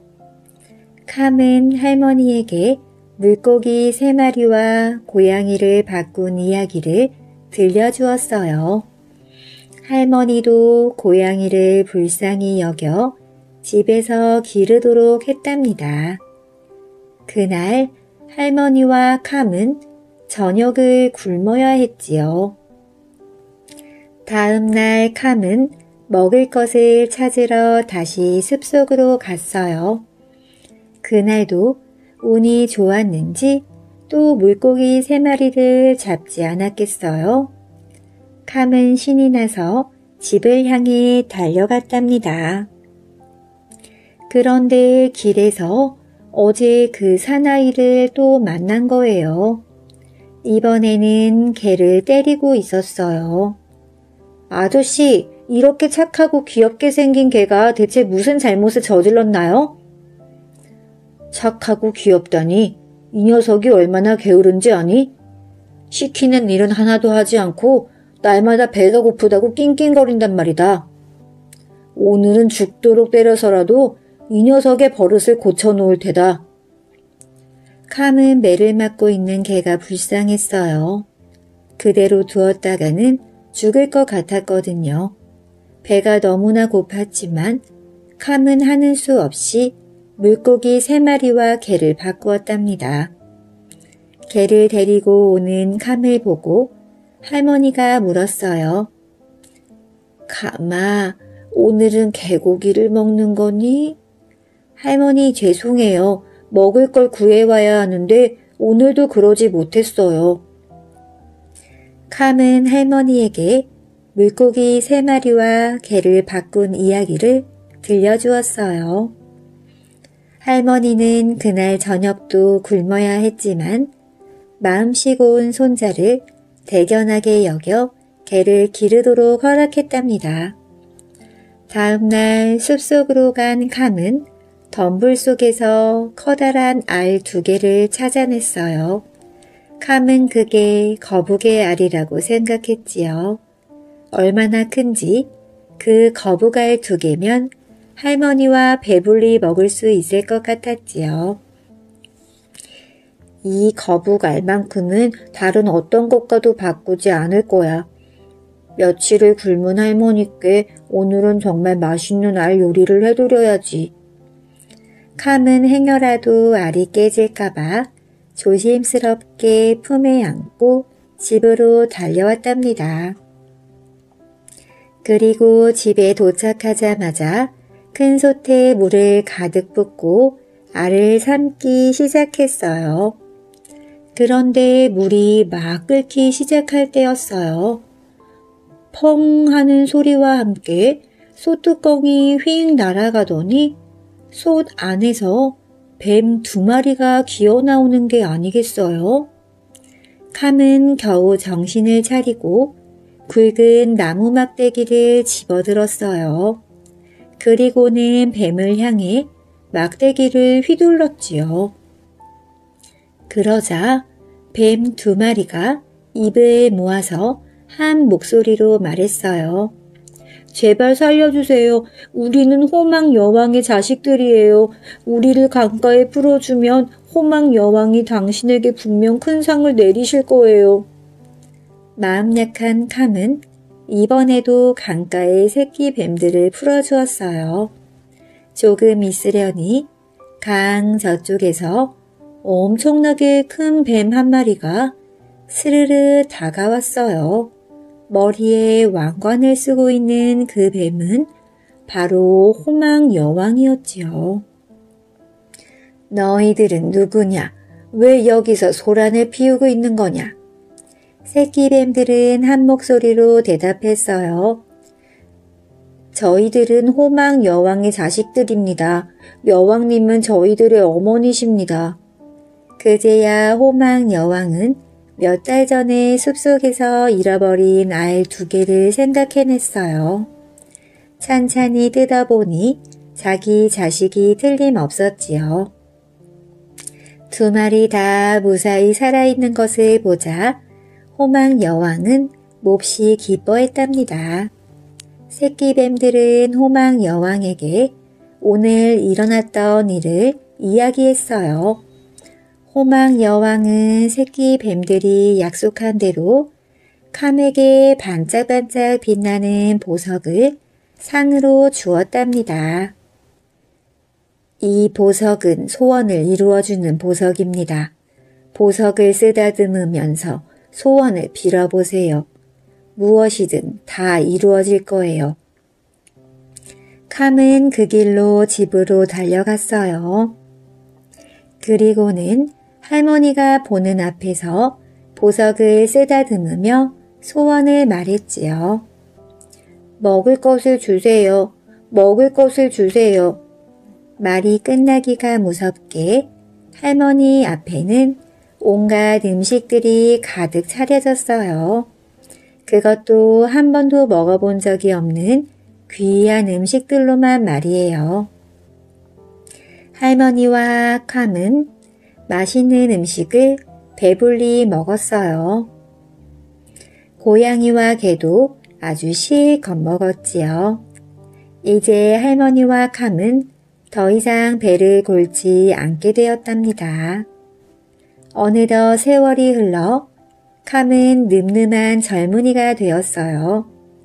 할머니는 더 나이가 들어 꼬부랑 할머니가 되었지요. 할머니, 저도 어여쁜 아가씨와 결혼을 하고 싶어요. 어엿한 젊은이가 되었으니 결혼을 하는 건 당연한 일이었어요. 하지만 할머니는 한숨만 내쉬었지요. 그래, 너도 어느새 결혼할 나이가 되었구나. 그런데 어쩌면 좋으냐. 이 산골 마을에 처녀라고는 한 명도 없으니 말이다. 신부감을 구하려면 도시로 나가야 한단다.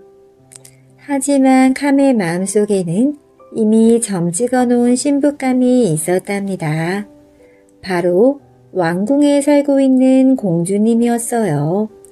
공주님은 이 세상 누구보다도 지혜롭고 아름다워 온 나라의 소문이 자자했지요. 그래서 캄은 어려서부터 늘 공주님과의 결혼을 꿈꾸어 왔던 거예요. 캄은 공주님을 만나기 위해 왕궁이 있는 수도로 갔어요.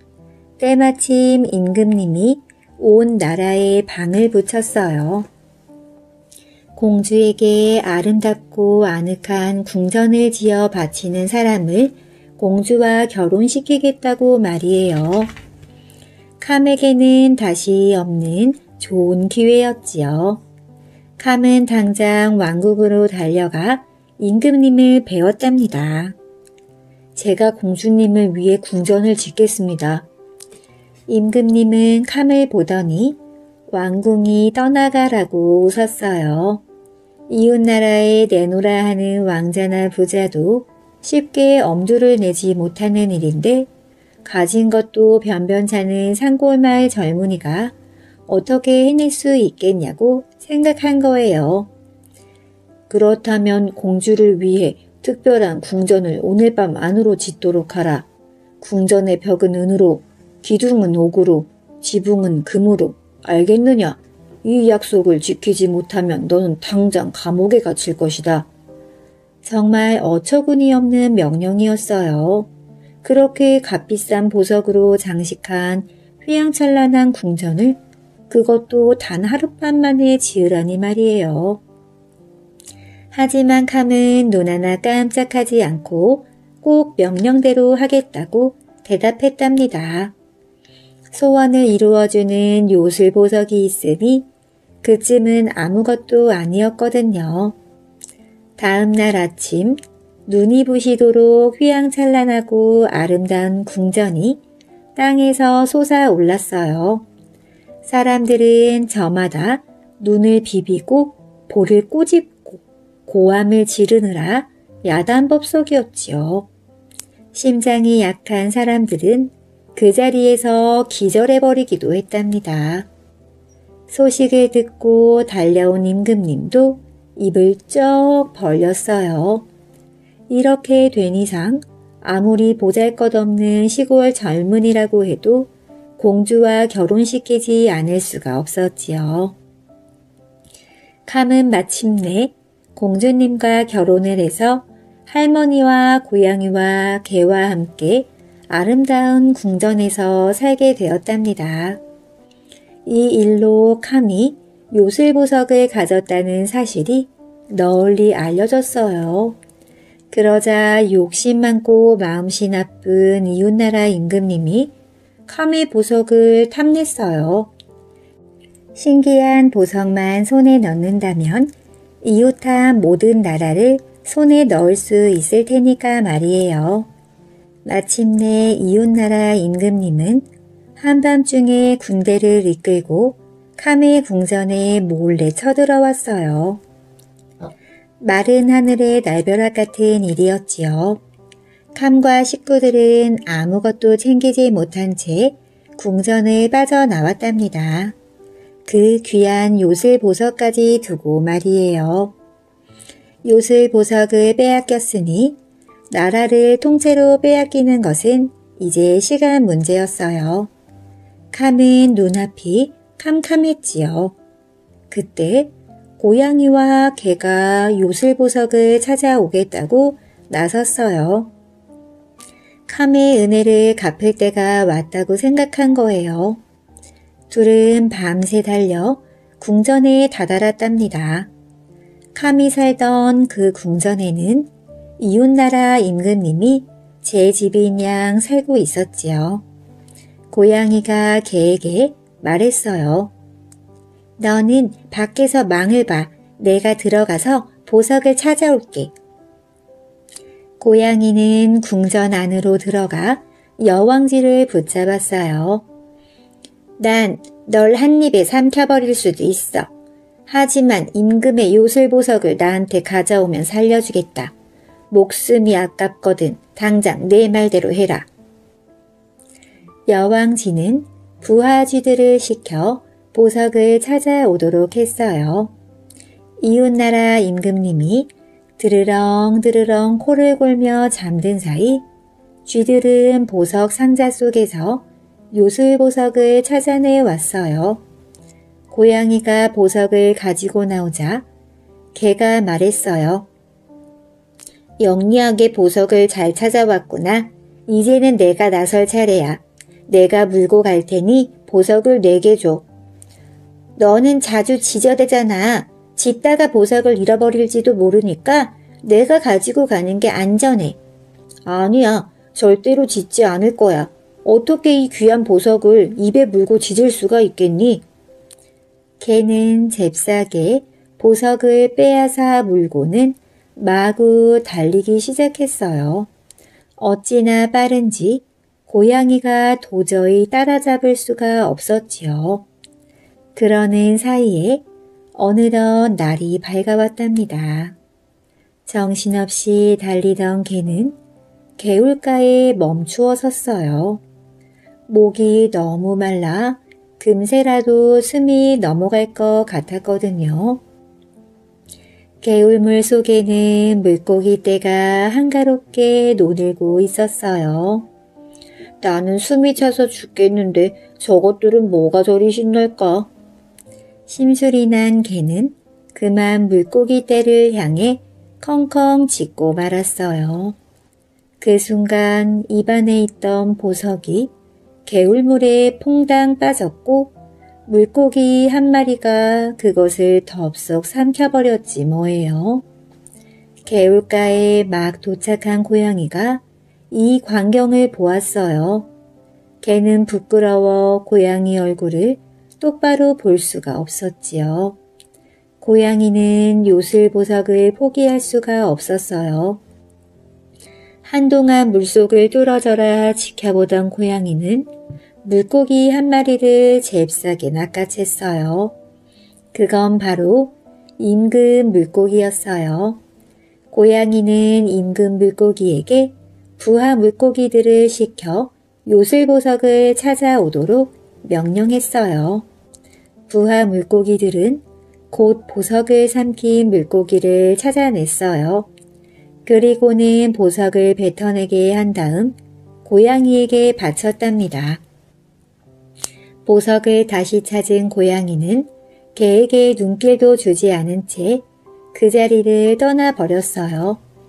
고양이에게 무시를 당했다고 생각한 개는 씩씩거리며 고양이를 앞지르기 위해 무작정 달려갔답니다.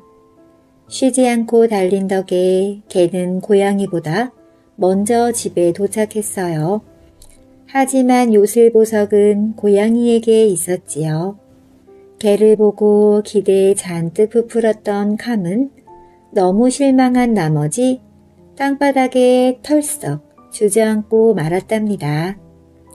때마침 고양이가 캄 앞에 나타났어요. 고양이는 캄의 손바닥 위에 보석을 뱉었어요.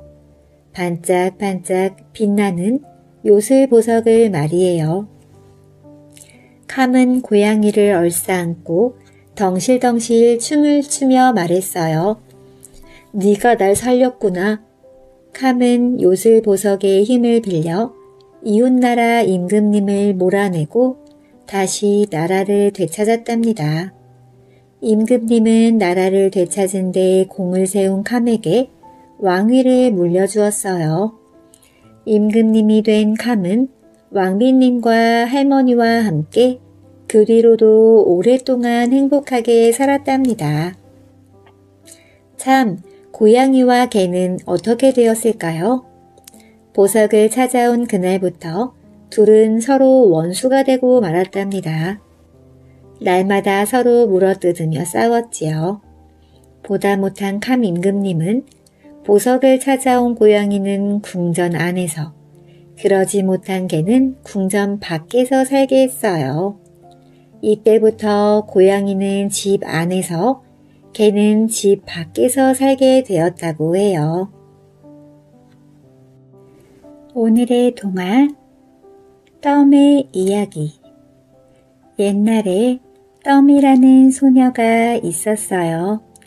덤은 새 어머니와 배다른 동생 깜과 함께 살았어요. 덤의 어머니는 덤이 어렸을 때 세상을 떠났고 아버지는 새 어머니와 결혼을 했어요. 하지만 아버지마저 동생 깜이 태어난 지 얼마 되지 않아 돌아가시고 말았어요. 아버지가 돌아가시고 나자 새 어머니가 덤을 대하는 태도는 싹 달라졌습니다. 덤에게는 하루 종일 일만 시키고 깜만 예뻐하는 거예요.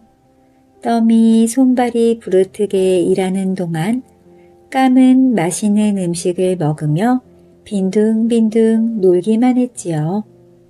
어느 날 새 어머니가 덤과 깜을 불렀어요. 너희 둘이 강에 가서 물고기를 잡아오너라. 오늘 저녁에 물고기 요리를 해줄 테니까. 많이 잡아온 사람에게는 빨간 치마를 주지만 적게 잡아온 사람은 저녁도 못 먹을 줄 알아라.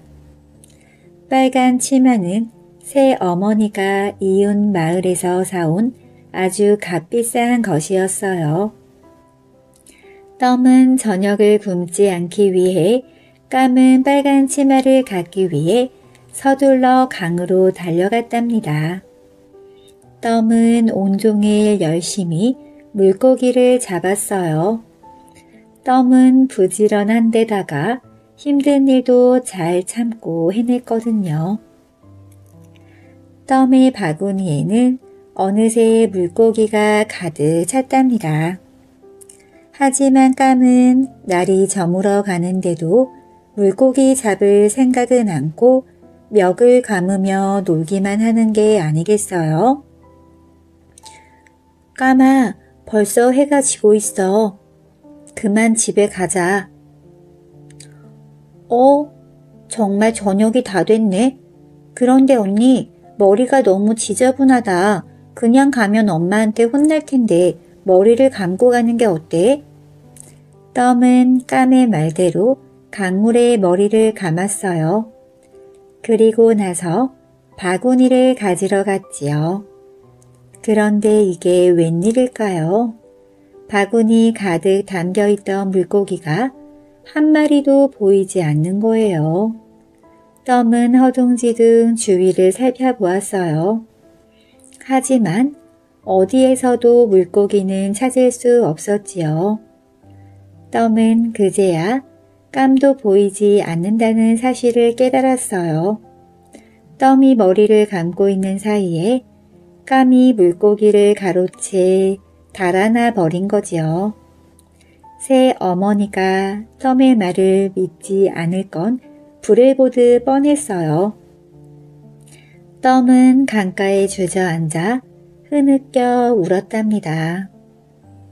그때 갑자기 누군가 덤 앞에 나타났어요. 부드럽고 따뜻한 미소를 머금은 그분은 바로 부처님이었답니다. 덤아, 눈물을 닦고 바구니를 들여다보아라. 덤은 부처님이 시키는 대로 바구니를 들여다보았어요. 놀랍게도 바구니 안에는 조그만 물고기 한 마리가 파닥거리고 있었답니다. 그 물고기를 집에 가져가서 우물에 풀어놓아라. 그리고 먹다 남은 음식을 조금씩 먹이로 주어라. 부처님은 그렇게 말하고 어디론가 사라져 버렸어요. 덤은 바구니를 품에 안고 한달음에 집으로 달려갔어요. 그리고는 우물에 물고기를 풀어 주었답니다. 그날부터 덤은 물고기에게 정성껏 먹을 걸 주었어요. 물고기는 하루가 다르게 무럭무럭 커갔지요. 그런데 어느 날 덤이 소를 몰고 들로 나간 사이에 그만 일이 벌어지고 말았어요. 새 어머니와 까미 그 물고기를 잡아먹어 버린 거예요. 들에서 돌아온 덤은 물고기가 없어진 것을 알고는 우물가에서 엉엉 소리내어 울었답니다. 그러자 이번에도 부처님이 나타났어요. 떠마 눈물을 닦고 물고기 뼈를 찾아라. 그리고 뼈를 병 네개 나누어 담아 침대 다리 밑에 땅을 파고 하나씩 묻어두어라. 덤은 부처님이 일러준 대로 했답니다. 어느덧 1년이 지났어요. 어느 날 왕궁에서 큰 잔치를 열어 온 나라 사람들을 모두 초대했어요. 새 어머니는 잔치에 가기 위해 화려한 옷을 입고 멋진 모자를 준비했지요. 까은 빨간 치마를 입고 말이에요. 새 어머니가 덤에게 말했어요. 덤아, 이 쌀자루에 벼가 많아 밥을 해먹기가 힘들구나. 네가 언니니까 집에 남아 쌀을 골라내도록 해라. 그 일이 다 끝나거든 잔치에 오너라. 새 어머니와 까은 새 옷을 나풀거리며 왕궁으로 떠났고 덤은 자루를 쏟아놓고 쌀을 고르기 시작했어요. 한 알 두 알 쌀을 골라내던 덤의 눈에서 눈물이 뚝뚝 떨어졌답니다. 덤이 슬플 때면 늘 그렇듯 부처님이 다시 나타났어요. 덤아, 그만 울어라. 부처님, 이렇게 벼가 많은데 어떻게 쌀을 하나하나 골라낼 수 있겠어요? 며칠이 걸려도 다 못할 거예요. 어쩌면 좋아요. 부처님은 덤의 머리를 가만히 쓰다듬어 주었어요. 부드러운 부처님의 손길이 닿자 덤은 마음이 편안해졌답니다. 전말이 참새 때야 이리 나라와 쌀은 쌀대로 벼는 벼대로 나누어 놓아라. 부처님의 말이 끝나기가 무섭게 하늘이 새까맣게 변하면서 천 마리 참새떼가 날아왔어요. 덤의 앞에 내려앉은 참새들은 찍찍찍 요란한 소리를 내며 쌀과 벼를 나누기 시작했지요. 순식간에 한쪽에는 벼 무더기가 다른 한쪽에는 쌀 무더기가 생겼어요. 일을 마친 참새들은 오던 모습 그대로 다시 날아갔답니다. 덤은 날아갈 듯이 기뻐하며 벼와 쌀을 따로따로 자루에 담았어요. 내 방으로 가서 침대 다리 밑에 묻어둔 병들을 꺼내보아라. 그렇게 말하고 부처님은 온데간데 없이 사라졌답니다. 덤은 방으로 달려가 병네 개를 꺼내 열어보았어요. 첫 번째 병에는 아름다운 구슬이 달린 옷이 들어 있었어요. 두 번째 병에는 알록달록한 신발이 들어 있었고, 세 번째 병에는 멋진 모자가 들어 있었지요. 그리고 마지막 병에는 이 세상에는 없을 것 같은 신비로운 향기가 나는 향수가 들어 있었답니다. 덤은 새 옷과 새 신발과 새 모자로 단장하고 향수를 뿌린 다음 집을 나섰어요. 그런데 너무 서두르다가 그만 돌부리에 걸려 넘어지고 말았지요. 그 바람에 신발 한 짝이 어디론가 사라져 버렸어요. 아무리 찾아도 신발은 보이지 않았어요. 덤은 하는 수 없이 나머지 신발 한 짝을 벗어든 채 맨발로 뛰어갔답니다.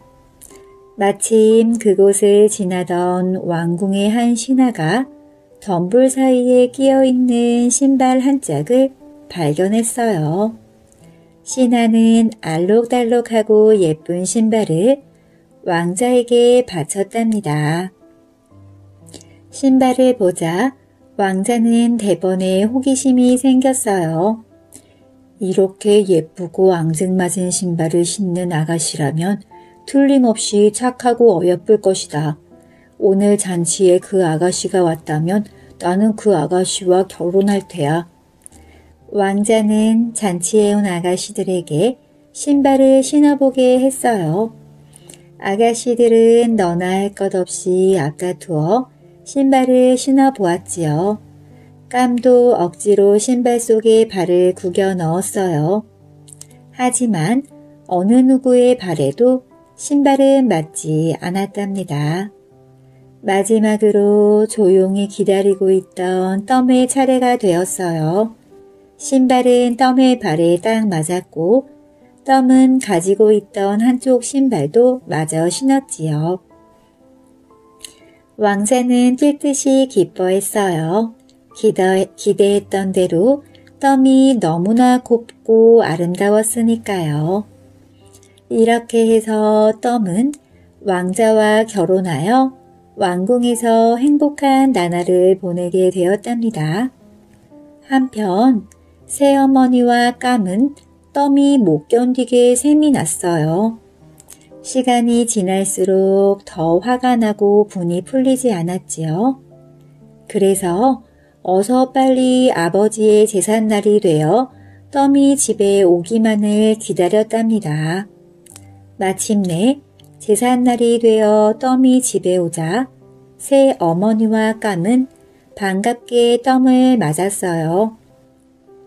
덤아, 아버지 제사상에 올릴 까우가 없구나. 네가 직접 따오면 아버지가 얼마나 기뻐하시겠니? 덤은 기꺼이 그러겠다고 하고 집 가까이 있는 까우 나무에 올라갔어요.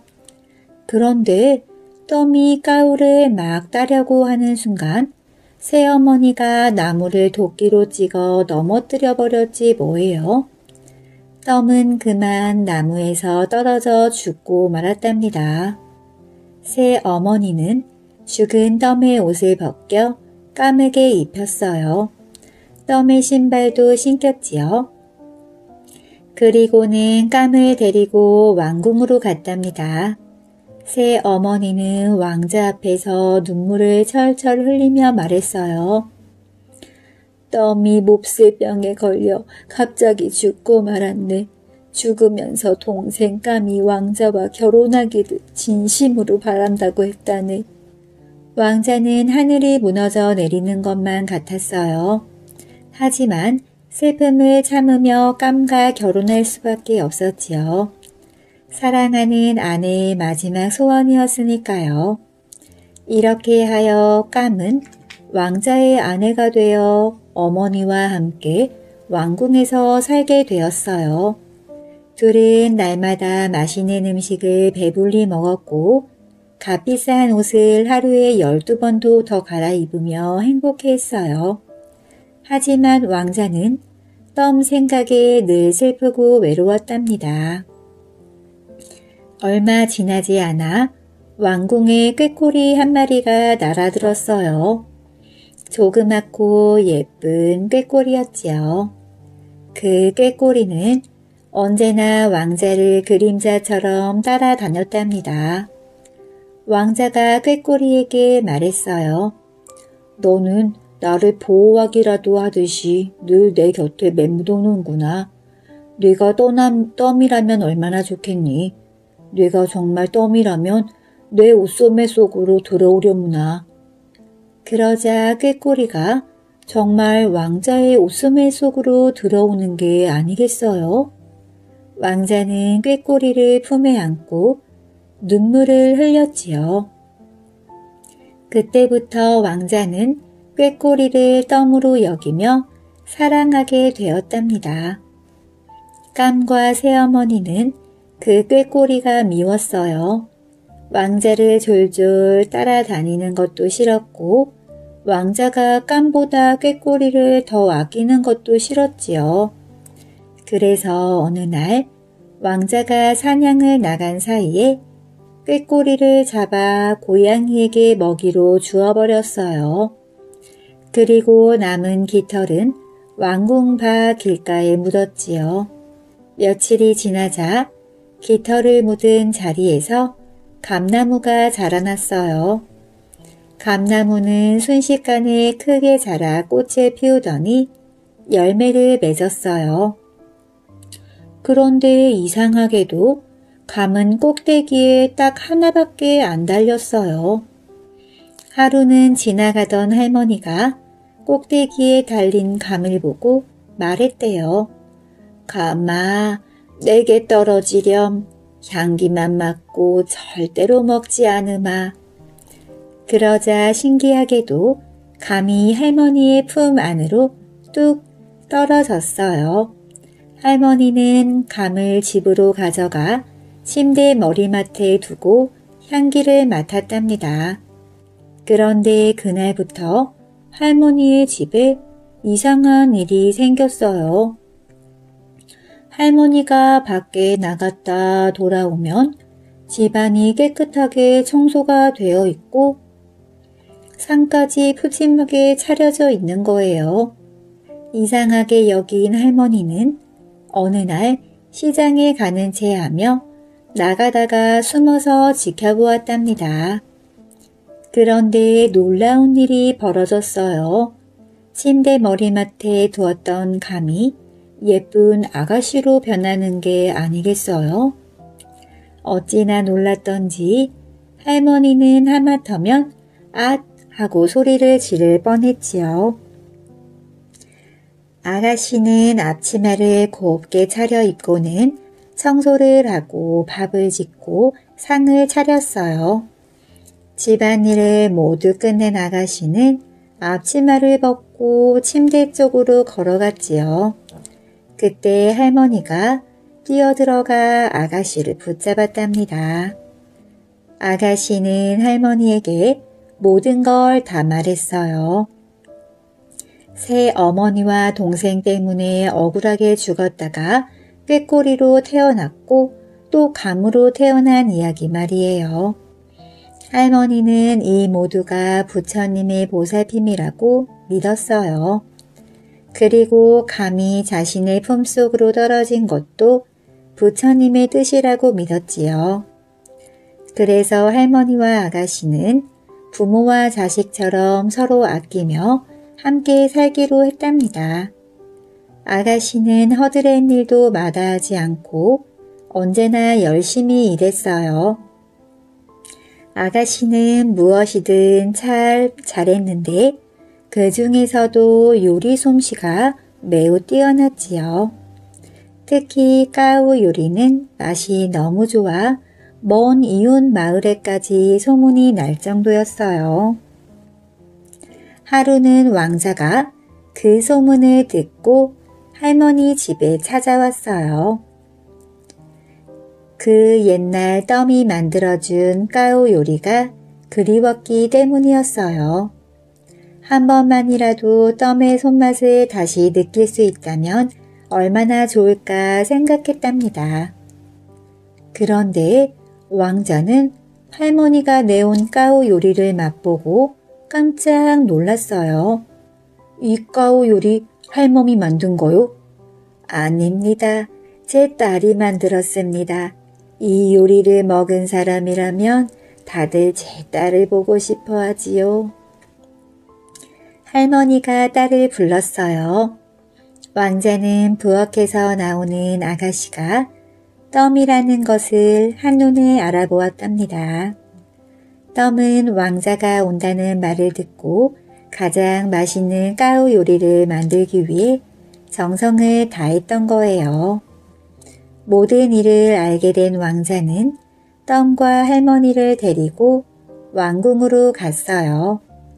괘씸한 새어머니와 까맥에 무거운 벌을 내리려고 벼르면서 말이에요. 하지만 덤은 목숨만은 살려주라고 간곡히 부탁했지요. 왕자는 착한 덤을 위해 그러겠다고 약속을 했어요. 그런데 덤이 돌아온다는 소식에 놀란 감은 왕궁 밖으로 달아나다 그만 벼락을 맞아 죽고 말았대요. 감이 죽었다는 말을 들은 새어머니도 스스로 목숨을 끊었지요. 착한 덤은 새 어머니와 감을 양지 바른 곳에 묻어주었어요. 그리고 왕자와 할머니와 함께 오래오래 행복하게 살았답니다.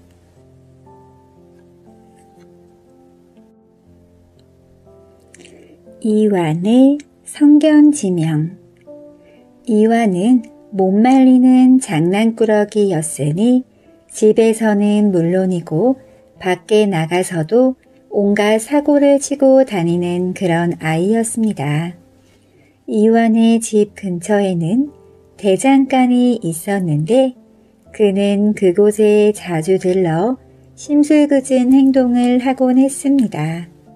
대장간에서는 농사 지을 때 필요한 각종 농기구도 만들고 생활용품도 만들었지만 그 대장간의 대장장이는 말발굽에 박는 징을 유난히 많이 만들었습니다. 대장장이는 뜨거운 물에 달구어 두들겨 만든 징을 일단 땅바닥에 던져 놓습니다. 너무 뜨겁기 때문에 그것들을 식히기 위한 방법이었던 것입니다. 징이 식으면 다시 모아서 목판에 담아두곤 했는데 장난기가 폭발하는 이완에게는 이 징이 또 하나의 장난거리가 되었습니다. 그는 허구한 날 대장간에 들러 대장장이에게 이런저런 말을 하기도 하고 대장장이가 만든 것들을 갖고 놀곤 했는데 대장장이로서는 적잖게 귀찮은 존재였지만 그래도 대감집 도련님인지라 눈 감아 줄 수밖에 없는 노릇이었습니다. 그런데 문제는 이완이 징을 갖고 놀다가는 슬그머니 하나씩 가져간다는 사실을 대장장이가 알아차린 것입니다. 한두 번도 아니고 늘상 와서 노는 척 하다가 하나씩 가져가니 그냥 둘 일은 아니었습니다. 이에 화가 난 대장장이는 대감댁에 이 사실을 고하려고도 했지만 자신의 얘기를 대감이 자칫 잘못 받아들였다가는 오히려 남의 귀한 아들을 모함했다는 소리를 들을 수도 있는지라 다른 방법을 찾기로 했습니다. 그러던 중 어느 날 대장장이는 이완을 단단히 골려줄 묘안을 생각해냈습니다. 대장장이는 시키지 않은 징을 몇 개의 목판에 담아놓고 이완이 나타나기를 기다렸습니다. 아니나 다를까 이완은 어김없이 심술기 가득한 얼굴로 찾아왔습니다. 그러더니 늘 하던 대로 목판에 징을 주어서 헐렁한 개구멍 바지 속으로 넣는 것이었습니다. 순간 그 뜨거움에 못 이겨 아이고 소리를 내며 엉덩방아를 찢는 게 아니겠어요?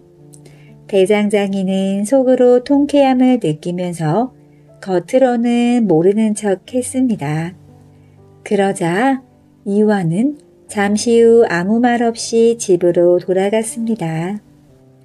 대장장이는 혼잣말로 이렇게 말했습니다. 아마도 가랑이 어딘가는 화상이 나 있을지도 몰라. 그동안 못된 짓을 한 대가를 톡톡히 받는 게지. 그러나 이완이 이쯤에서 물러날 단순한 장난꾸러기가 아니었습니다. 두어 시간이 흘렀을까요? 이완은 잘 익은 사과를 들고 대장간의 모습을 드러냈습니다. 하나는 맛있게 먹고 다른 하나는 한 손에 들고 있었습니다. 이를 본 대장장이는 믿져야 본전이라는 생각에 어린 그를 졸랐습니다. 아무리 어른이지만 과일이 흔하던 시절이 아니었으니 대장장이도 무척이나 먹고 싶었던 것입니다. 도련님, 그 사과 참 맛있게 생겼습니다. 저도 하나 주시면 안 될까요? 글쎄, 나는 두 개 다 먹어야 하는데. 대장장이는 다시 졸랐습니다. 도련님, 댁은 잘 살기 때문에 집에 가시면 더 많이 있지 않습니까? 저도 하나 주시지요. 나눠 먹는 것은 좋은 일이랍니다. 이와는 마치 고심을 하듯 한참을 망설이다가 결국에는 왼손에 쥐고 있던 사과를 대장장이에게 건네주었습니다. 그러자 대장장이는 고맙다고 꾸벅 절을 하면서 사과를 받았습니다. 빛깔이 붉으스레한 사과는 누가 보아도 먹음직스러웠습니다. 대장장이는 일하던 검은 손임에도 불구하고 손을 씻지 않고 사과를 쥐고는 입으로 가져갔습니다. 그런데 이게 무슨 일인가요? 사과를 한 입 깨물던 대장장이가 갑자기 펄펄 뛰면서 침을 뱉어대는 거였습니다. 아니 세상에 이런 똥냄새 나는 사과를 주다니 사람을 공탕, 골탕 먹여도 유분수지. 어떻게 이럴 수가 있어. 아무리 대감집 도련님이라지만 너무 심하네. 대장장이에 대한 복수로 냄새나는 사과를 준 것이었습니다. 그렇다고 이와는 통쾌해하지도 미안해 하지도 않았습니다. 오히려 큰 소리로 호통을 쳤습니다. 네 이놈, 내 놈이 먼저 나를 속였으니 아가리에 똥이 들어갈 수밖에 없지. 철없는 아이라고 하기에는 이처럼 이완에게는 뭔가 다른 구석이 있었습니다. 이완의 지혜가 돋보인 것은 이런 일이 있은 지 며칠 후였습니다. 당시 조선은 갑자기 전쟁이 일어났습니다. 그러자 왕은 전국의 대장장이들에게 낫이나 쟁기 대신에 칼과 창을 만들도록 했고 징을 만들던 사람들에게는 말의 징과 편제를 만들도록 지시했습니다. 그러나 당시 상황이 워낙 다급했던 터라 대장장이들에게 무리한 요구를 하기에 10일 안에 말의 증을 자그마치 10섬이나 바치라고 한 것이 아닌가요? 대장장이는 밤낮을 쉬지 않고 징을 만들었지만 쉽지 않은 일이었습니다. 명령대로 하지 않으면 그만한 대가를 치를 일이 뻔했습니다. 이에 대장장이는 한숨을 쉬고 있는데 그때 이완은 대장장이를 불러 자기 집 광을 열게 했습니다. 그러자 광 안에서는 말굽 석섬이 쌓여져 있었습니다. 그제서야 대장장이는 나이 어린 이완의 장난이 앞을 내다본 성견 지명이었음을 깨닫게 되었다고 합니다. 어린 아이에게 이 같은 지혜가 있었다는 것이 쉽게 믿겨지지 않지만 이 같은 일화는 사실로 전해져 내려오고 있습니다. 오늘의 동화 이완의 아버지 장난기가 많아 어린 시절 개구쟁이로 소문난 이완은 이런저런 사고를 수없이 저지르기도 했습니다. 지금과는 달리 양반 상놈이 존재하던 시절이었으니 양반댁 도련님인 이완이 아무리 짓궂은 장난을 한들 크게 나무랄 사람은 없었습니다. 하인들만 귀찮았을 일이었습니다. 그가 일곱 살 되던 어느 날 그의 아버지 이수일은 밖에 볼 일이 있어 외출하고 사랑방이 비게 되었습니다. 상상을 초월할 만큼 장난기가 다분한 소년 이완이 가만히 있을 리가 없었습니다. 아버지 방으로 들어간 그는 장판 위로 벼룩이 기어다니는 것을 발견하자 벼룩을 잡기 위해 송곳을 들고 온 방안을 찌르고 돌아다녔습니다. 이 광경을 목격한 하인은 기가 막혀 말문이 막힐 지경이었습니다. 하지만 그런 이완을 때릴 수도 없는 입장이니 점잖게 타이르는 수밖에 없었습니다. 도련님, 이러시면 안 됩니다. 빈대 한 마리 잡기 위해 장판을 이렇게 망가뜨리시면 아니 되옵니다. 하인은 이완의 손에서 송곳을 빼앗았습니다. 하지만 그렇다고 가만히 있을 이완이 아니었습니다. 일을 내놓거라.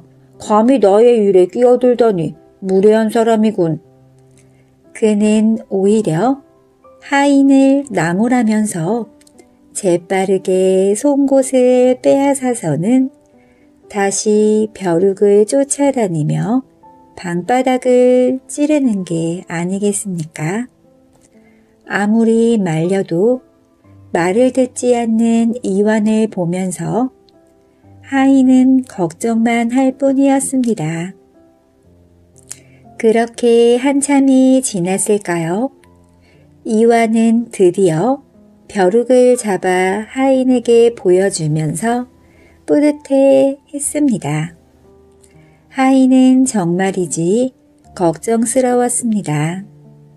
이완의 아버지가 이 사실을 알게 되면 도련님을 제대로 돌보지 못해 일어난 사건에 대한 책임은 결국 자신이 져야 하기 때문입니다.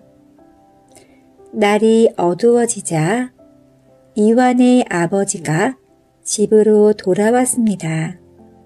하인은 별 도리가 없었습니다.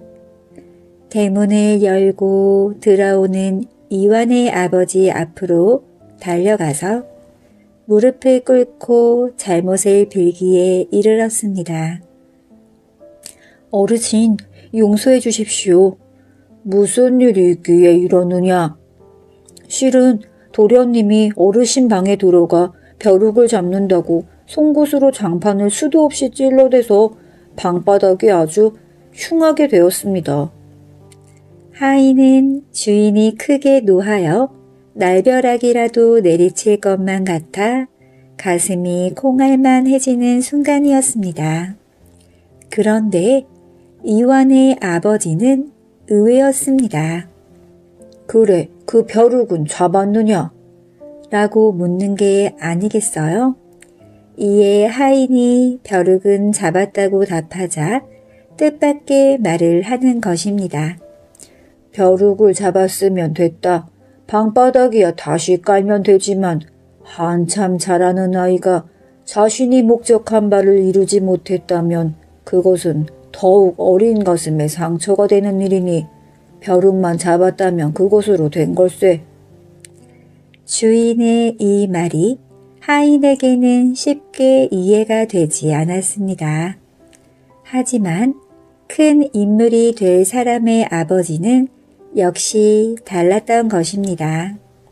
이를테면 도량이 그만큼 넓었다는 얘기겠지요. 오늘의 동화 천사들의 계획표 세상이 온통 고운 단풍으로 물든 가을날이에요. 가을 천사가 색색의 요술 물감을 산과 들에 조르륵 조르륵 뿌리고 있어요. 솔솔 시원한 바람도 불어 보내고요. 이 모든 것은 가을 천사가 한 해 동안 열심히 준비한 것이랍니다. 여기는 겨울 천사가 일하는 방이에요. 겨울 천사는 오늘도 늦잠을 자고 있네요. 겨울 준비는 하나도 하지 않고요. 그 모습을 본 계절의 왕이 버럭 소리쳤어요. 이 게으른 겨울 천사야, 어서 일어나지 못할까? 겨울 천사는 그제야 부스스 일어나 눈을 떴어요. 계절의 왕이 돌아가고 나자 겨울 천사는 투덜거렸어요. 무슨 걱정이람? 이제부터 해도 충분해. 천사는 흰 가루를 한 자루나 풀어 눈을 반죽하기 시작했어요. 찰파닥, 찰파닥, 찰퍼덕. 그리고 찬바람을 만든다고 요술 약들을 마구 휘저 섞었어요. 달그락, 달그락, 휙휙휙. 어? 서두르다 보니 눈 반죽은 질척질척해지고 찬바람은 활활 불길이 되어버렸네요. 어느새 다시 나타난 계절의 왕이 말했어요. 하루하루 미루다 한꺼번에 하려니 그렇지. 다른 천사들이 하루를 어떻게 보내는지 배우도록 해라. 겨울 천사는 입을 삐죽 내밀었어요. 하지만 왕의 명령이니 그렇게 할 수밖에요. 다음 날 아침 겨울 천사는 봄 천사가 일하는 방으로 찾아갔어요. 봄이 되려면 아직 멀었는데도 봄 천사는 일찍부터 일어나 일을 하고 있었지요. 미안, 지금 바쁘니까 조금만 기다려 줄래? 겨울 천사는 구석에 앉아 봄 천사를 지켜보았어요. 봄 천사는 봄비의 재료를 꼼꼼히 계산해 그릇에 부었어요. 지금 재료를 준비해놔야 점심때 봄비를 끓일 수 있거든. 일을 마치고 봄 천사는 겨울 천사와 함께 새싹차를 마셨어요. 곧 겨울이 될 텐데 준비는 다 했니? 아직 이제부터 준비하려고. 아직이라고? 그럼 계획표는 짜놓은 거야? 겨울 천사는 아까보다 더 작은 소리로 대답했죠. 그것도 아직. 봄 천사는 딱하다는 듯 겨울 천사를 쳐다보았어요.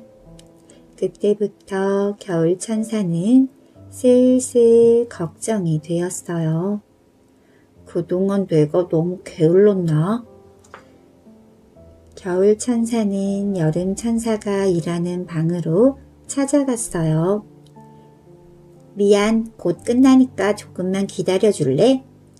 여름 천사는 붉은 덩어리를 반죽하며 말했어요. 아침에 모은 열로 만든 햇님인데 오늘 밤까지 커다랗게 구워놔야 하거든. 일을 마치고 여름 천사는 겨울 천사와 함께 얼음차를 마셨어요. 곧 겨울이 올 텐데 준비는 다 됐니? 겨울 천사는 기어 들어가는 목소리로 대답했어요. 아직 해야 할 일들을 모두 적어서 하루 계획표를 만들어 봐. 그러면 할 일을 다 하고도 시간이 남을 거야. 겨울 천사는 자기 방으로 돌아와 쓱싹쓱싹 싹둑싹둑 적고 자르고 붙이며 열심히 계획표를 만들었어요. 다음날 아침 계획대로 일찍 일어난 겨울 천사는 눈을 만들기 시작했어요. 하얀 가루를 그릇에 반쯤 넣고 별빛 요술약을 쪼르르 부어 겨울 마법이 나오는 손끝으로 조물조물 열심히 일을 한 겨울 천사는 점심을 먹었어요. 그리고는 찬바람을 만들기 시작했죠. 커다란 솥에 얼음을 넣고 바람을 일으키며 뛰어다니는 요정의 신발과 겨울 천사의 콧김을 섞어 휘 저었지요. 그러자 찬바람이 쌩쌩. 찬바람을 다 만들고도 시간이 남아 겨울 색깔을 만드는 일까지 모두 마쳤는데 아직 저녁 먹을 시간도 안 되었네요. 여름 천사의 말대로 정말 시간이 남았어요. 내일 계획표에는 그림도 그리고 노래도 부르는 시간을 넣어야지. 겨울 천사는 이렇게 하루하루를 계획한 대로 알뜰하게 보냈답니다. 드디어 겨울이 왔어요. 겨울 천사는 흰 눈과 찬 바람과 겨울 색깔들을 구름 아래로 열심히 뿌려주었어요. 세상 사람들은 겨울 천사가 만들어준 멋지고 아름다운 계절 덕분에 모두 모두 행복했답니다. 오늘의 동화 소중한 펭귄 친구들 펭귄 마을에 진진씨라는 펭귄이 살았어요. 마을에 무슨 일이 생기면 펭귄들은 모두 진진 씨를 찾아가 의논했지요. 진진 씨는 언제나 진지한 얼굴로 진지하게 말했어요. 그러면 마을 펭귄들은 모두 감탄을 했지요. 야, 어쩌면 그리 생각이 깊으신지. 그러던 어느 날 진진 씨네 이웃집에 한 펭귄이 이사를 왔어요. 안녕하세요. 난 깔깔씨라고 해요. 아저씨 수염이 깔깔해요? 깔깔 잘 웃어서 깔깔이란다. 재미있는 이웃이 생겼네요. 며칠 뒤 진진 씨의 아들이 얼음판에서 미끄러져 팔을 다치고 말았어요. 진진 씨는 걱정이 이만저만 큰 게 아니었지요. 그때 깔깔 씨가 문병을 왔어요. 음, 멋진 장갑인걸. 내 장갑은 어때? 하하, 아저씨 고마워요. 많이 웃어야 빨리 낫는단다. 펭귄 마을은 무척 바빠졌어요. 물고기를 모아둘 창고를 짓기로 했거든요. 밤낮으로 일하느라 펭귄들은 모두 지쳤어요. 진진 씨가 가쁜 숨을 몰아쉬고 있는데 깔깔 씨는 갑자기 어디론가 가네요. 어, 누구지? 쓱, 쓱, 히히, 깔깔 씨 좀 봐. 깔깔 씨 덕분에 피곤이 풀렸어. 휴, 요즘 갑자기 물고기가 많이 잡히지 않는데요. 그러면 창고도 쓸모 없어지게 되니 마을의 펭귄들은 한숨만 늘었지요. 이래서는 안 되겠다 싶어 펭귄들은 회의를 열기로 했어요. 아니 이게 뭐야? 물고기 그림이야. 해 걱정들 말아요. 꼭 물고기가 많이 잡힐 테니. 하하 깔깔씨 말이 맞아요. 진진 씨는 화가 났어요. 깔깔씨 물고기가 안 잡히는 건 큰 문제예요. 우리 펭귄들이 굶어 죽을지도 모르는데 웃음이 나옵니까? 진진 씨의 말에 펭귄들은 웃음을 뚝 그치고 푹푹 한숨을 쉬기 시작했어요. 자, 이것 좀 보세요. 깔깔 씨는 한숨을 쉬는 펭귄들을 보더니 사진 한, 사진 한 장을 꺼냈어요. 바다 사자가 밤에 몰래 나와 그물을 던져 물고기를 한꺼번에 잡아가는 모습이었어요. 진진 씨는 깜짝 놀라 눈이 둥그레졌어요. 얼마 전에 밤낚시를 갔다가 이걸 봤어요. 좀 더 지켜보다가 말하려고 했는데 지금 얘기해야 될 것 같군요. 다음 날 다시 마을 회의가 열렸어요. 깔깔 씨는 어제와 다른 진지한 모습으로 이야기했죠. 당장 바다사자를 찾아갑시다. 아니요, 힘으로는 당하지 못해요. 방법을 찾아야 해요. 바다사자는 환한 달밤에 고기를 잡아요. 배는 북쪽 바위섬 사이에 두죠. 오늘 밤에 달이 뜰 거야. 작전 기신은 역시 밤에 물고기를 잡으려고 낮에 미리 잠을 자고 있군. 어서 배에 구멍을 내자. 그물도 여기저기 찢어두자. 어, 그물이 왜 이러지? 우와, 배에 물이 들어와. 내 배, 배가 가라앉아 버렸어. 깔깔씨와 펭귄들이 바다사자 앞에 섰어요. 바다사자씨, 물고기를 그물로 마구 잡다 보면 언젠가는 바다사자씨가 먹을 물고기마저 모두 사라지고 말 거예요. 미안합니다. 내가 욕심을 부렸어요. 이제부터는 낚시로 먹을 만큼만 잡을게요. 펭귄들과 바다 사자는 화해를 하고 물고기 창고도 함께 쓰기로 했죠. 진진 씨는 깔깔 씨를 저녁 식사에 초대했어요. 깔깔 씨, 물고기 창고에서 화낸 건 미안해요. 내가 당신을 잘못 생각했어요. 어떤 때라도 웃음을 잃지 않는 당신이 부러워요. 진진 씨, 나도 당신이 부러워요. 진지하고 지혜로운 그 눈빛은 믿음을 주죠. 하하, 그럼 우리 서로에게 부러운 점을 배웁시다. 진진 씨와 깔깔 씨는 즐겁게 이야기꽃을 피웠어요. 그 뒤로 진진 씨와 깔깔 씨는 뭐든지 함께하는 좋은 친구가 되었답니다. 여보게 진진이 안경 아니 안녕도 아니고 안경이라니 깔깔이 자네는 아무도 못 말린다니까 오늘의 동화 이젠 부끄럽지 않아요. 다녀왔습니다. 미호가 유치원에서 돌아왔어요. 그런데 기분이 영 안 좋은가 봐요. 꼬리도 축, 수염도 축, 별처럼 반짝거리던 눈도 흐리멍텅. 미호는 오늘 친구들 앞에서 발표를 했어요. 그런데 얼굴은 화끈화끈 달아오르고 가슴은 콩닥콩닥 뛰고 다리는 후들후들 떨렸어요. 나, 나는 토, 요일에 미호의 목소리는 모기 소리만 해졌지요. 따르릉 엄마가 전화를 받았어요. 네, 선생님. 그랬군요. 미호가 부끄러움이 너무 많아 어쩌죠? 선생님이 오늘 있었던 일을 얘기하나 봐요. 사실 미호에게는 더 큰 걱정이 있었어요.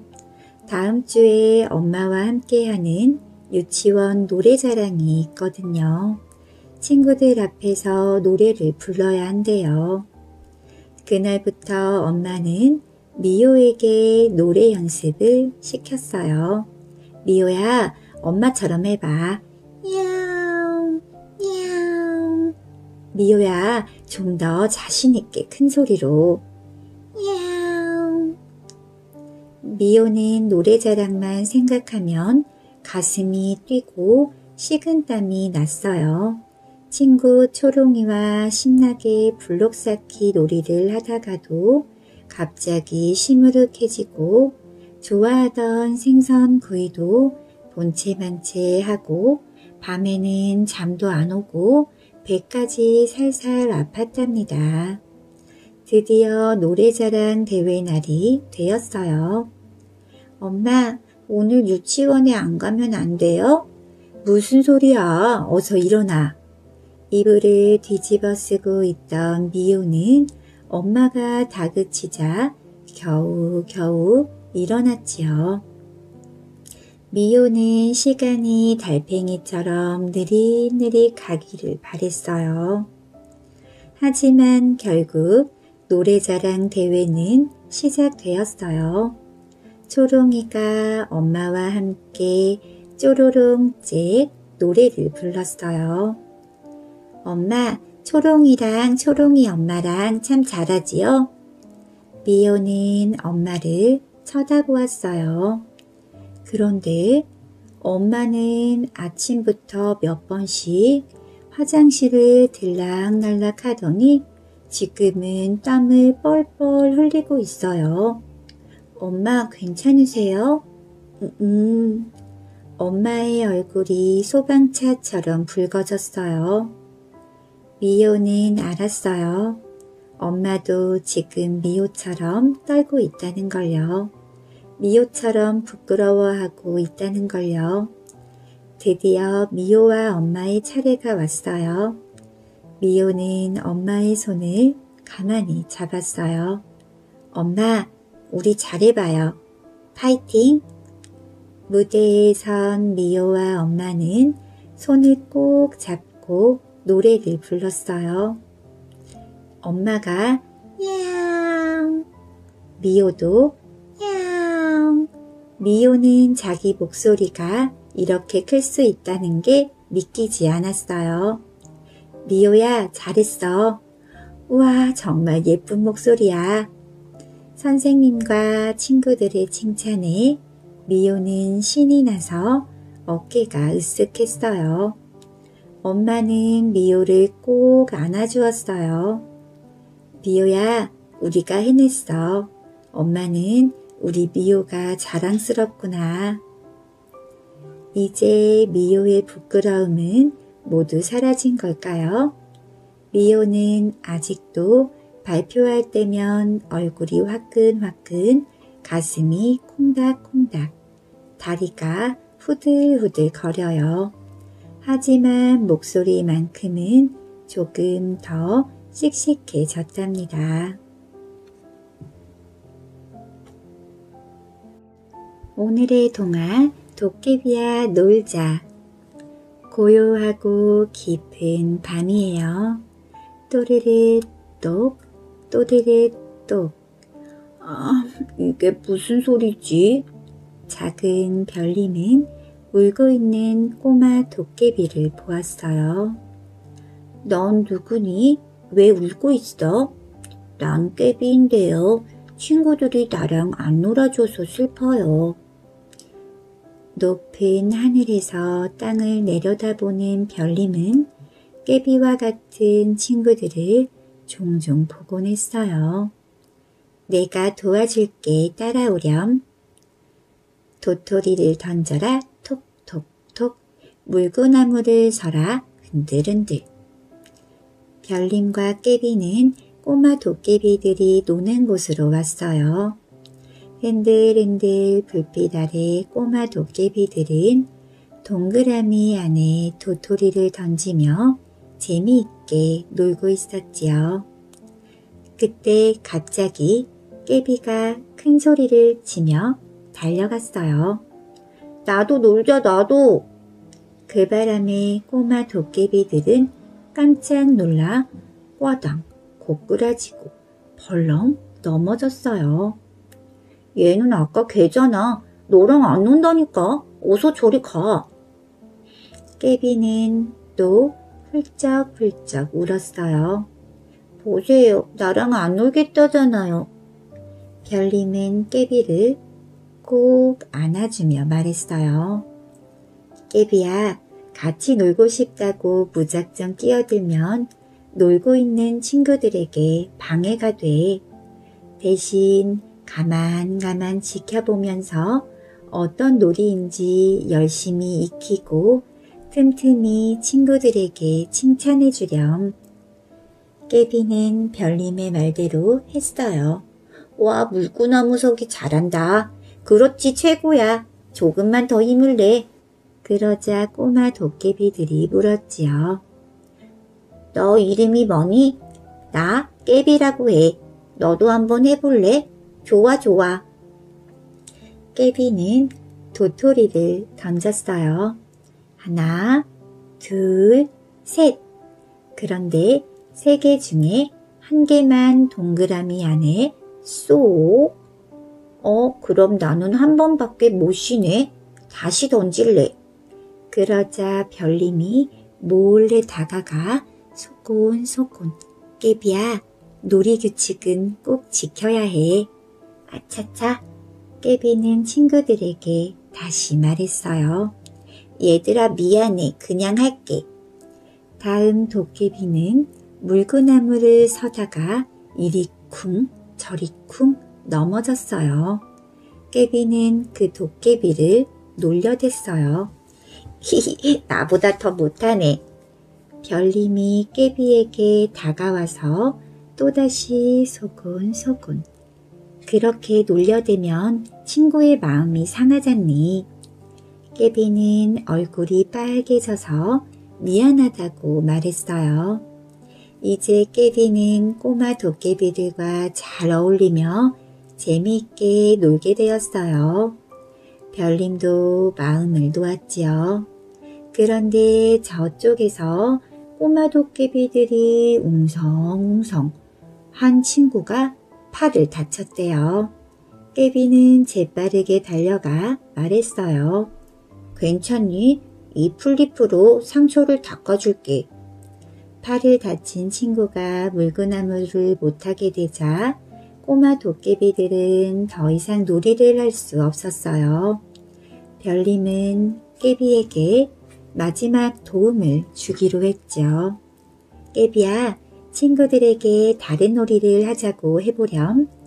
깨비는 곰곰이 생각하더니 말했어요. 우리 숨백꼭질하자. 그건 팔을 다쳐도 할 수 있잖아. 맞아. 좋아 좋아. 꼭꼭 숨어라. 도끼비뿔 보일라. 꼭꼭 숨어라. 방망이가 보일라. 저 멀리서 동이 타오네요. 꼬마 도깨비들이 집으로 돌아갈 시간이에요. 얘들아 안녕. 꼬마 도깨비들이 방망이로 땅을 툭 치자 모두들 뿅 사라졌어요. 깨비도 집으로 돌아가야 해요. 별님, 오늘 정말 즐거웠어요. 별님 덕분에 친구들이 생겼어요. 그래, 깨비야. 그리고 나도 네 친구란다. 다음날 고요하고 깊은 밤하늘이 짜렁짜렁 울렸어요. 깨비야 놀자. 꼬마 도깨비들이 깨비를 부르네요. 깨비는 신이 나서 이리 폴짝 저리 폴짝 제주를 넘으며 친구들에게 갔답니다. 오늘의 동화 착한 아이가 된 치코 옛날 어떤 마을에 치코라는 아이가 있었어요. 치코는 청개구리처럼 말을 안 들었지요. 어른에게 인사하라고 하면 딴 데만 보고 친구들과 사이좋게 지내라고 하면 골려먹기 일쑤였거든요. 이런 치코를 보고 어른들은 혀를 차며 말했어요. 치코랑 놀지 마라. 나쁜 버릇 배울라. 치코의 부모님이 걱정하며 말했어요. 치코야, 착한 아이가 되어야지. 나쁜 아이가 되는 게 좋아? 그래도 치코는 심통만 냈죠. 난 나쁜 아이가 좋아. 부모님은 한숨을 쉬면서 방으로 들어갔어요. 바로 그때 누군가 문을 두드렸어요. 똑똑. 누구세요? 문 밖에는 웬 어릿광대가 초대장을 들고 서 있었어요. 치코님, 안녕하세요. 전 나쁜 어린이 학교에서 왔답니다. 내 이름을 어떻게 알아? 나쁜 어린이 학교에서는 온 세상의 나쁜 어린이들을 모두 알고 있어요. 특히 치코님은 우리 학교에서 1등감이거든요. 세상에 1등이라니 치코는 어깨가 익숙해졌어요. 좋아, 날 데려다 줘. 치코가 어릿광대의 손을 잡자 치코는 나쁜 어린이 학교로 휙 날아갔어요. 처마 밑에는 박쥐들이 대롱대롱, 낡은 벽에는 벌레들이 우글우글. 아이들은 새까만 교복을 입은 데다 머리카락은 빨강, 노랑, 파랑. 와, 진짜 못돼 보인다. 땡, 땡.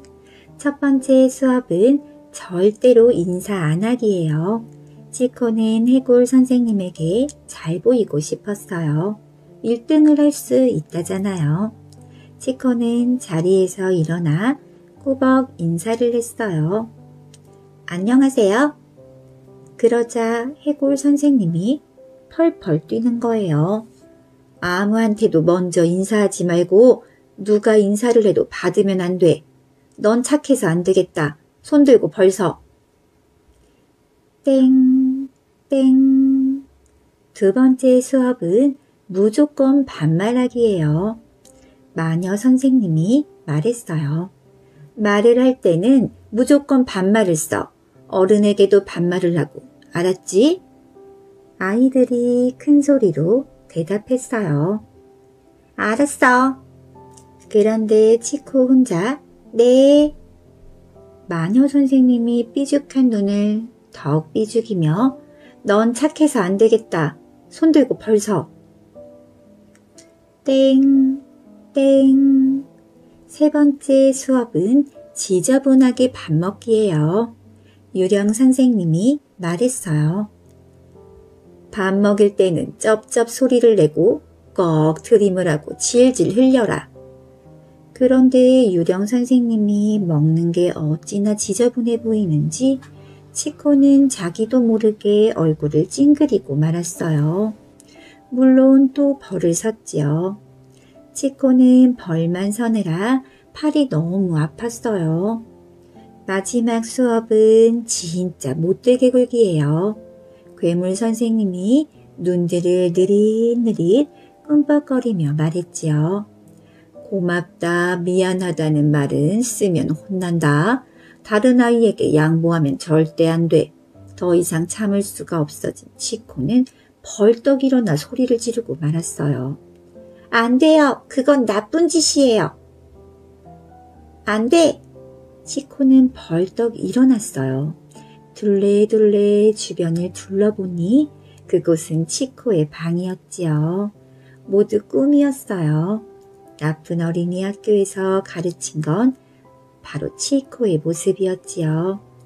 내가 그런 아이였다니 너무 끔찍해.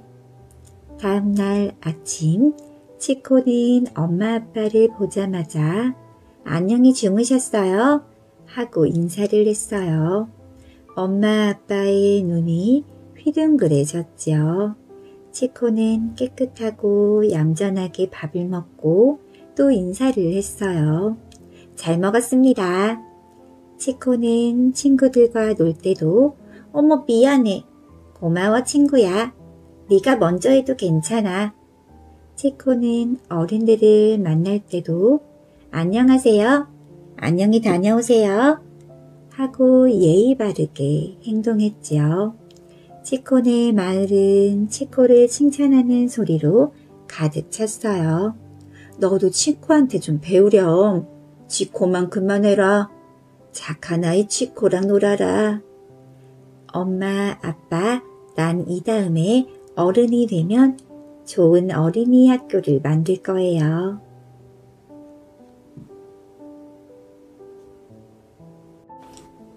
오늘의 동화 용감한 개구리 숲속에 작은 연못이 있었어요. 어느 날 살랑살랑 헤엄을 치던 올챙이 다롱이는 예쁜 올챙이 한 마리를 보았죠. 와, 내 맘에 쏙 들어. 하지만 다롱이는 용기가 없어 말 한마디 못했답니다. 다음날 다롱이는 예쁜 올챙이를 또 만났어요. 예쁜 올챙이가 먼저 다롱이에게 다가와 말을 거네요. 안녕, 난 아롱이야. 넌 이름이 뭐니? 다롱이는 아주 작은 소리로 대답했죠. 다, 다롱이. 다롱이는 부끄러워 연꽃만 멀뚱멀뚱 바라보았어요. 그러자 아롱이가 입을 삐죽 내밀고는 너 나랑 이야기하기 싫은가 보구나 하더니 멀리 가버렸지요. 으 다롱이가 긴 한숨을 내쉬고 있는데 붕어들이 다가와 한마디씩 했어요. 아롱이 눈을 쳐다보고 말했어야지. 이렇게 말이야. 그래야 네가 관심이 있다는 걸 알지. 며칠 뒤 뒷다리가 나온 다롱이가 헤엄치는 연습을 하고 있는데 아롱이가 다가와 반갑게 인사했어요. 안녕. 너도 뒷다리가 나왔구나. 멋지다. 다롱이는 붕어들의 말을 떠올리고 아롱이를 똑바로 쳐다보면서 말했어요. 고마워. 하지만 뚱한 얼굴과 무뚝뚝한 말투에 아롱이는 또 화가 나버렸지요. 다롱이가 하늘을 보며 슬픔에 잠겨 있는데 잠자리들이 날아와 한마디씩 했어요. 좀 상냥하게 웃었어야지. 이렇게 말이야. 그래야 네가 기분이 좋다는 걸 알지. 얼마 뒤 앞다리가 나온 다롱이가 용기를 내어 아롱이에게 다가갔어요. 다롱이는 아롱이와 눈을 맞추고 웃으며 말했어요. 아롱아, 오랜만이야. 날씨가 참 좋지? 그러자 아롱이도 반갑게 말했어요. 응, 여름이 오려나 봐.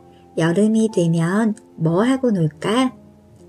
그때 마침 파리 한 마리가 엥엥. 와, 저 파리 맛있겠다. 아롱이는 다롱이가 참 이상한 애라고 생각하고는 가버렸어요. 다롱이는 너무 속상해서 눈물을 뚝뚝 흘렸어요. 그 모습을 보고 오리들이 한마디씩 했어요. 아롱이가 한 마리 대꾸를 해주었어야지. 맞아 맞아 그랬어야지 나처럼 말이야. 고개도 끄덕이면 더 좋고 이렇게 말이야. 어느덧 개구리가 된 다롱이는 아롱이에게 자신의 마음을 이야기하기로 결심했어요. 다롱이는 두근두근 뛰는 가슴을 안고 아롱이가 사는 물풀 옆으로 폴짝폴짝 뛰어갔지요. 바로 그때 비명소리가 들려왔어요. 아, 살려줘! 커다란 뱀이 혀를 날름거리며 아롱이에게 다가가고 있지 뭐예요? 어쩌지? 뱀에게 다가가서 눈을 맞추고 웃고 고개를 끄덕이며 아롱이를 놓아달라고 해볼까? 하지만 지금은 어울리지 않아. 그럼 다롱이는 있는 힘껏 달리기 시작했어요. 아롱이는 눈물을 글썽이며 고맙다고 했어요. 다롱이는 아롱이의 눈을 마주보며 말했지요. 고맙기는 무사해서 다행이야. 그러자 아롱이가 말했어요. 넌 정말 용감한 개구리야. 다롱이는 머리를 긁적이며 웃었어요. 그렇게 말해주니 너무 부끄러워. 어디 다친 데는 없니? 아롱이와 다롱이는 주홍빛 노을이 질 때까지 이야기하고 또 이야기했어요. 며칠 후 작은 연못에는 개구리 알들이 몽글몽글 뭉글뭉글 가득히 퍼졌답니다.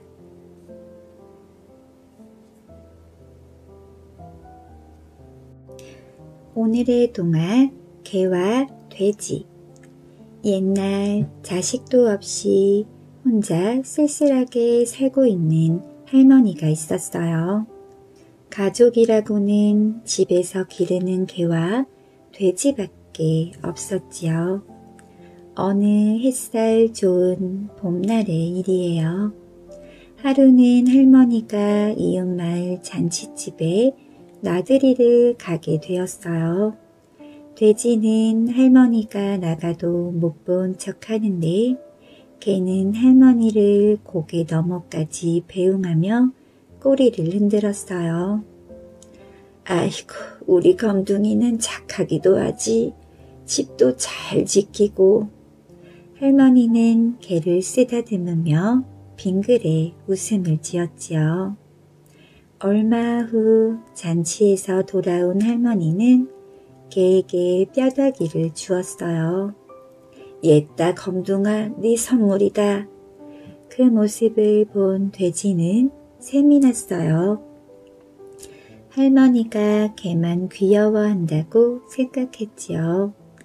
돼지는 개에게 퉁명스럽게 물었어요. 할머니는 왜 너만 귀여워하시는 거지? 나는 매일 밤 집을 지키는데 너는 밥만 먹고 잠만 자잖아. 개의 말에 돼지는 속으로 생각했어요. 좋아, 오늘 밤부터 나도 잠을 자지 않고 집을 지켜야지. 그날 밤 밤이 깊도록 돼지는 잠을 자지 않았어요. 대신 목청을 높여 큰 소리로 울어댔지요. 꿀꿀, 꿀꿀. 돼지 울음소리에 할머니는 밤새도록 잠을 이룰 수가 없었답니다. 돼지가 병이 났나 보군. 내일 아침에 의사를 불러야겠다. 날이 밝자 할머니는 의사를 불러왔어요. 의사는 돼지의 엉덩이에 침을 놓아주었지요. 그런데 이 미련한 돼지는 엉뚱한 생각을 했어요. 할머니께서 집을 더 잘 지키라고 침을 놓아주시나 보다. 그날 밤에도 그 다음날 밤에도 돼지는 큰 소리로 울어댔어요. 꿀꿀, 꿀꿀. 할머니는 돼지 울음소리 때문에 잠을 잘 수가 없었어요. 밤이면 밤마다 울어대니 그냥 두면 안 되겠네. 결국 할머니는 돼지를 장에 내다 팔았어요. 앞뒤 구별 못하고 미련하게 굴던 돼지는 그만 팔려가는 신세가 되고 만 거예요.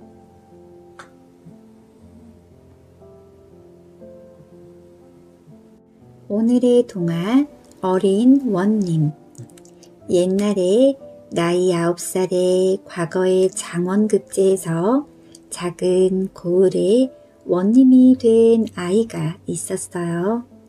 어린 원님을 모셔야 하는 관가 사람들은 기가 막혔지요. 까마득하게 어린 아이를 원님이라고 불러야 하니 여간 안 입고 온 게 아니었어요. 그래서 이방과 아전들은 어떻게 하면 어린 원님을 자기 손안에 넣고 마음대로 쥐고 흔들까 자나 깨나 그 궁리만 했지요.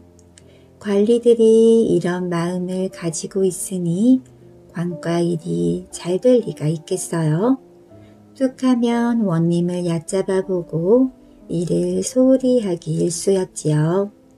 관리들은 인사를 할 때에도 고개를 숙이지 않고 꼿꼿하게 세운 채 건성으로 말만 했어요.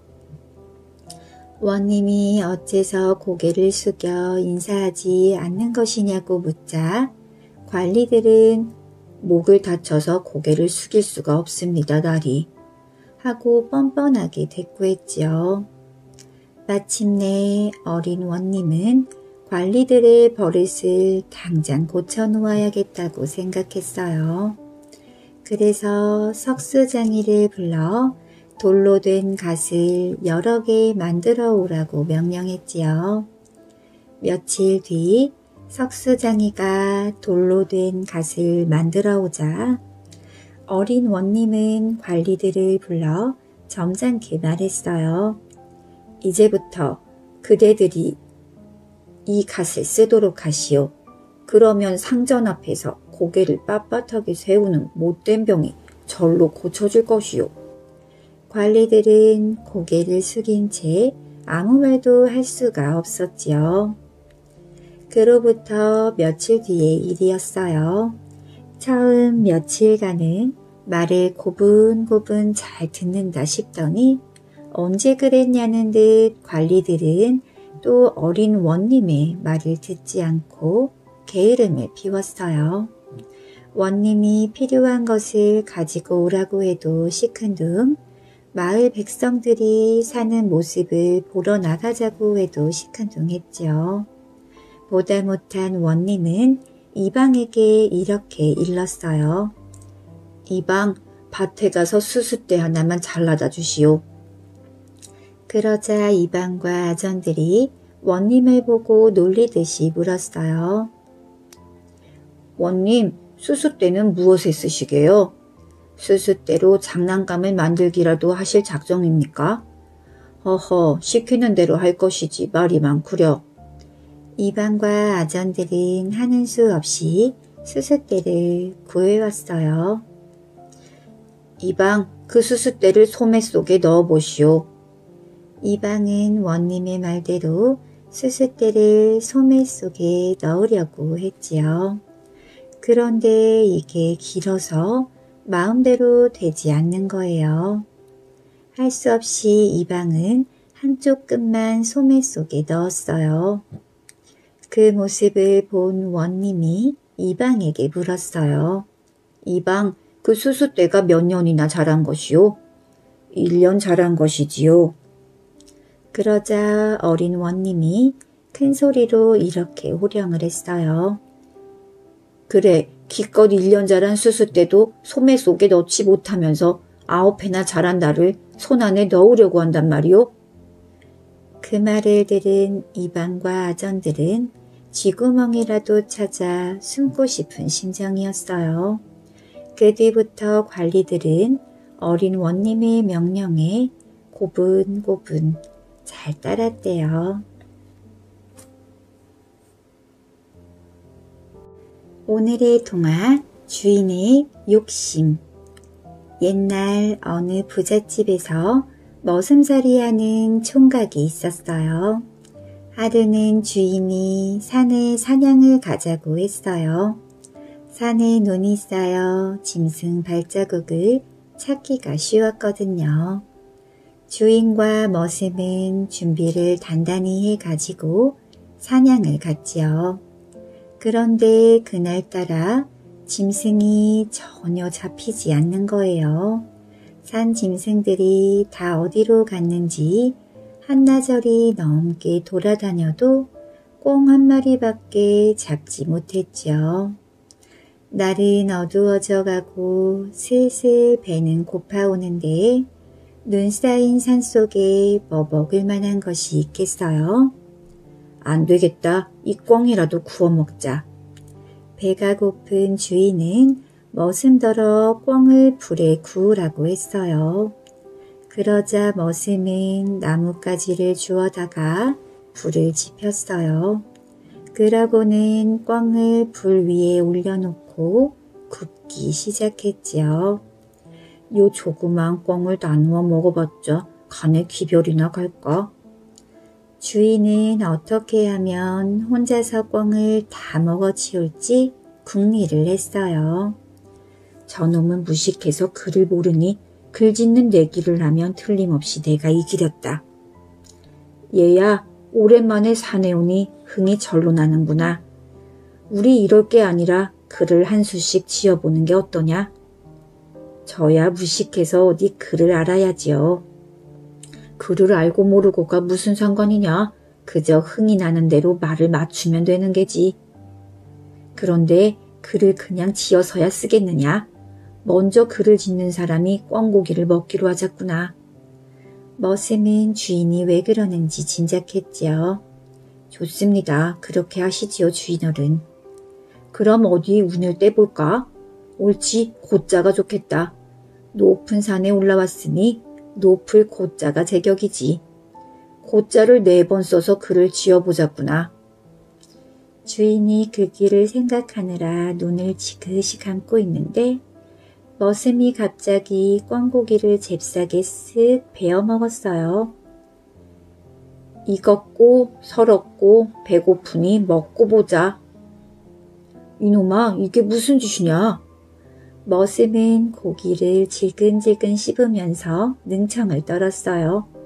무슨 짓이라뇨? 그를 먼저 지은 사람이 고기를 먹기로 하지 않았습니까?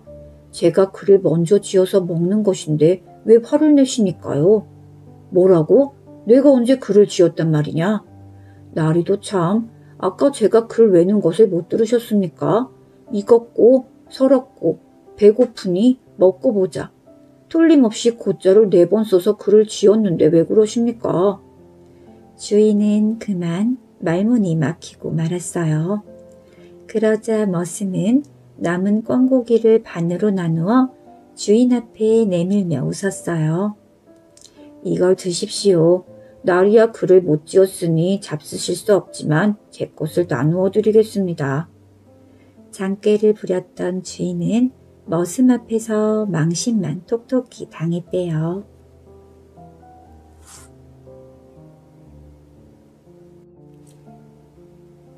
오늘의 동화 훈장님의 거짓말 옛날 어느 시골 마을에 작은 서당이 하나 있었어요. 서당에서는 여러 명의 아이들이 글 공부를 했지요. 하루는 훈장님이 아이들에게 책을 읽으라고 하더니 슬그머니 벽장문을 열고 무언가를 꺼내서 맛있게 먹는 거예요. 그건 바로 꿀이었어요.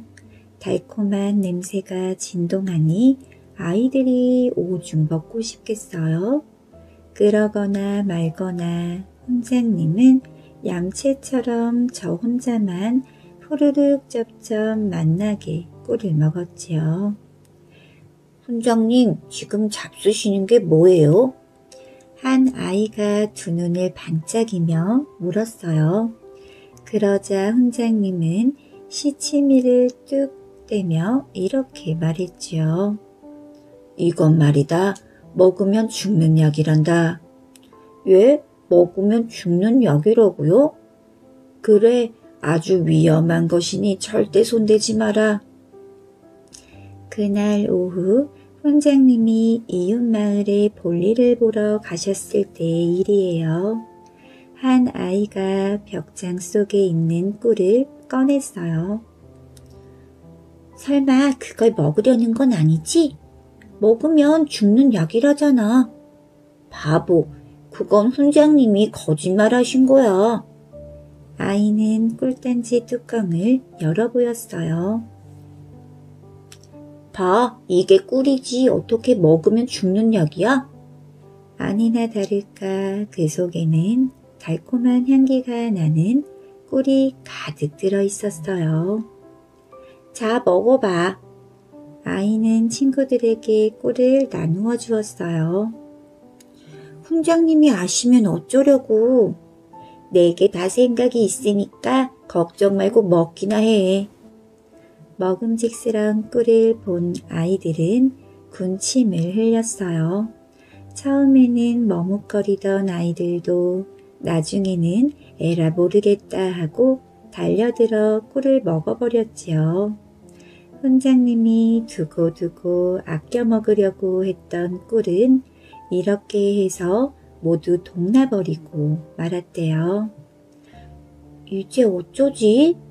틀림없이 회초리로 맞게 될 거야. 아이들이 조마조마 해하고 있을 때였어요. 아까 꿀단지를 꺼낸 아이가 벌떡 일어서더니 다짜고짜 훈장님이 아끼는 벼루를 내동댕이 치는 게 아니겠어요? 아이들은 놀라서 어쩔 줄을 몰라 했죠. 꿀을 훔쳐먹은 것만 해도 큰 죄인데 훈장님이 아끼는 벼루마저 깨뜨려 놓았으니 말이에요. 어쩌자고 벼루까지 깨뜨렸어. 이제 훈장님이 오시면 정말 혼이 날 거야. 새파랗게 질린 아이들이 금방이라도 울음을 터뜨릴 것처럼 말했어요. 그런데 꿀단지를 꺼냈던 아이는 빙그레 웃기만 할 뿐이었어요. 내게 다 생각이 있으니까 내가 시키는 대로 따라하기만 해. 아이는 다른 친구들에게 방바닥에 납작하게 엎드려 있으라고 말했어요. 얼마 후 서당으로 돌아온 훈장님은 깜짝 놀랐어요. 글쎄 아이들이 먹지 말라는 꿀은 다 꺼내 먹고 아끼는 벼룩까지 산산조각을 냈으니 말이에요. 훈장님은 불그락 푸르락해진 얼굴로 아이들에게 소리쳤어요. 네 이놈들! 그러자 꿀단지를 꺼냈던 아이가 눈물 콧물이 범벅된 얼굴로 이렇게 말했죠. 훈장님, 저희가 놀다가 실수로 벼루를 깨뜨렸습니다. 이렇게 큰 죄를 짓고 어찌 살아남기를 바라겠습니까? 그래서 벽장 속에 든 먹으면 죽는 약을 먹었습니다. 그런데 어찌 된 일인지 아무리 기다려도 죽지를 않습니다. 이 일을 어찌합니까? 아이는 억지로 큰 울음을 터뜨렸어요. 훈장님은 가만히 생각해 보니 영락없이 아이의 꾀에 넘어간 것 같았어요. 그래도 어떻게 하겠어요? 이미 꿀은 다 먹어치웠고 벼루는 산산조각이 났는걸요. 모두 일어나라. 너희들이 먹은 건 먹으면 죽는 약이 아니라 꿀이다. 너희들에게 거짓말을 한 내가 잘못이지. 이렇게 해서 아이들은 훈장님이 아끼던 꿀을 몰래 먹어치우고도 나다나나 맞지 않았지요. 먼 훗날 훈장님의 꿀을 당당하게 훔쳐먹었던 그 아이는 과거에 급제해서 높은 벼슬을 했대요. 그리고 아주 지혜롭고 현명하게 백성들을 다스려 오랫동안 존경을 받았다고 해요.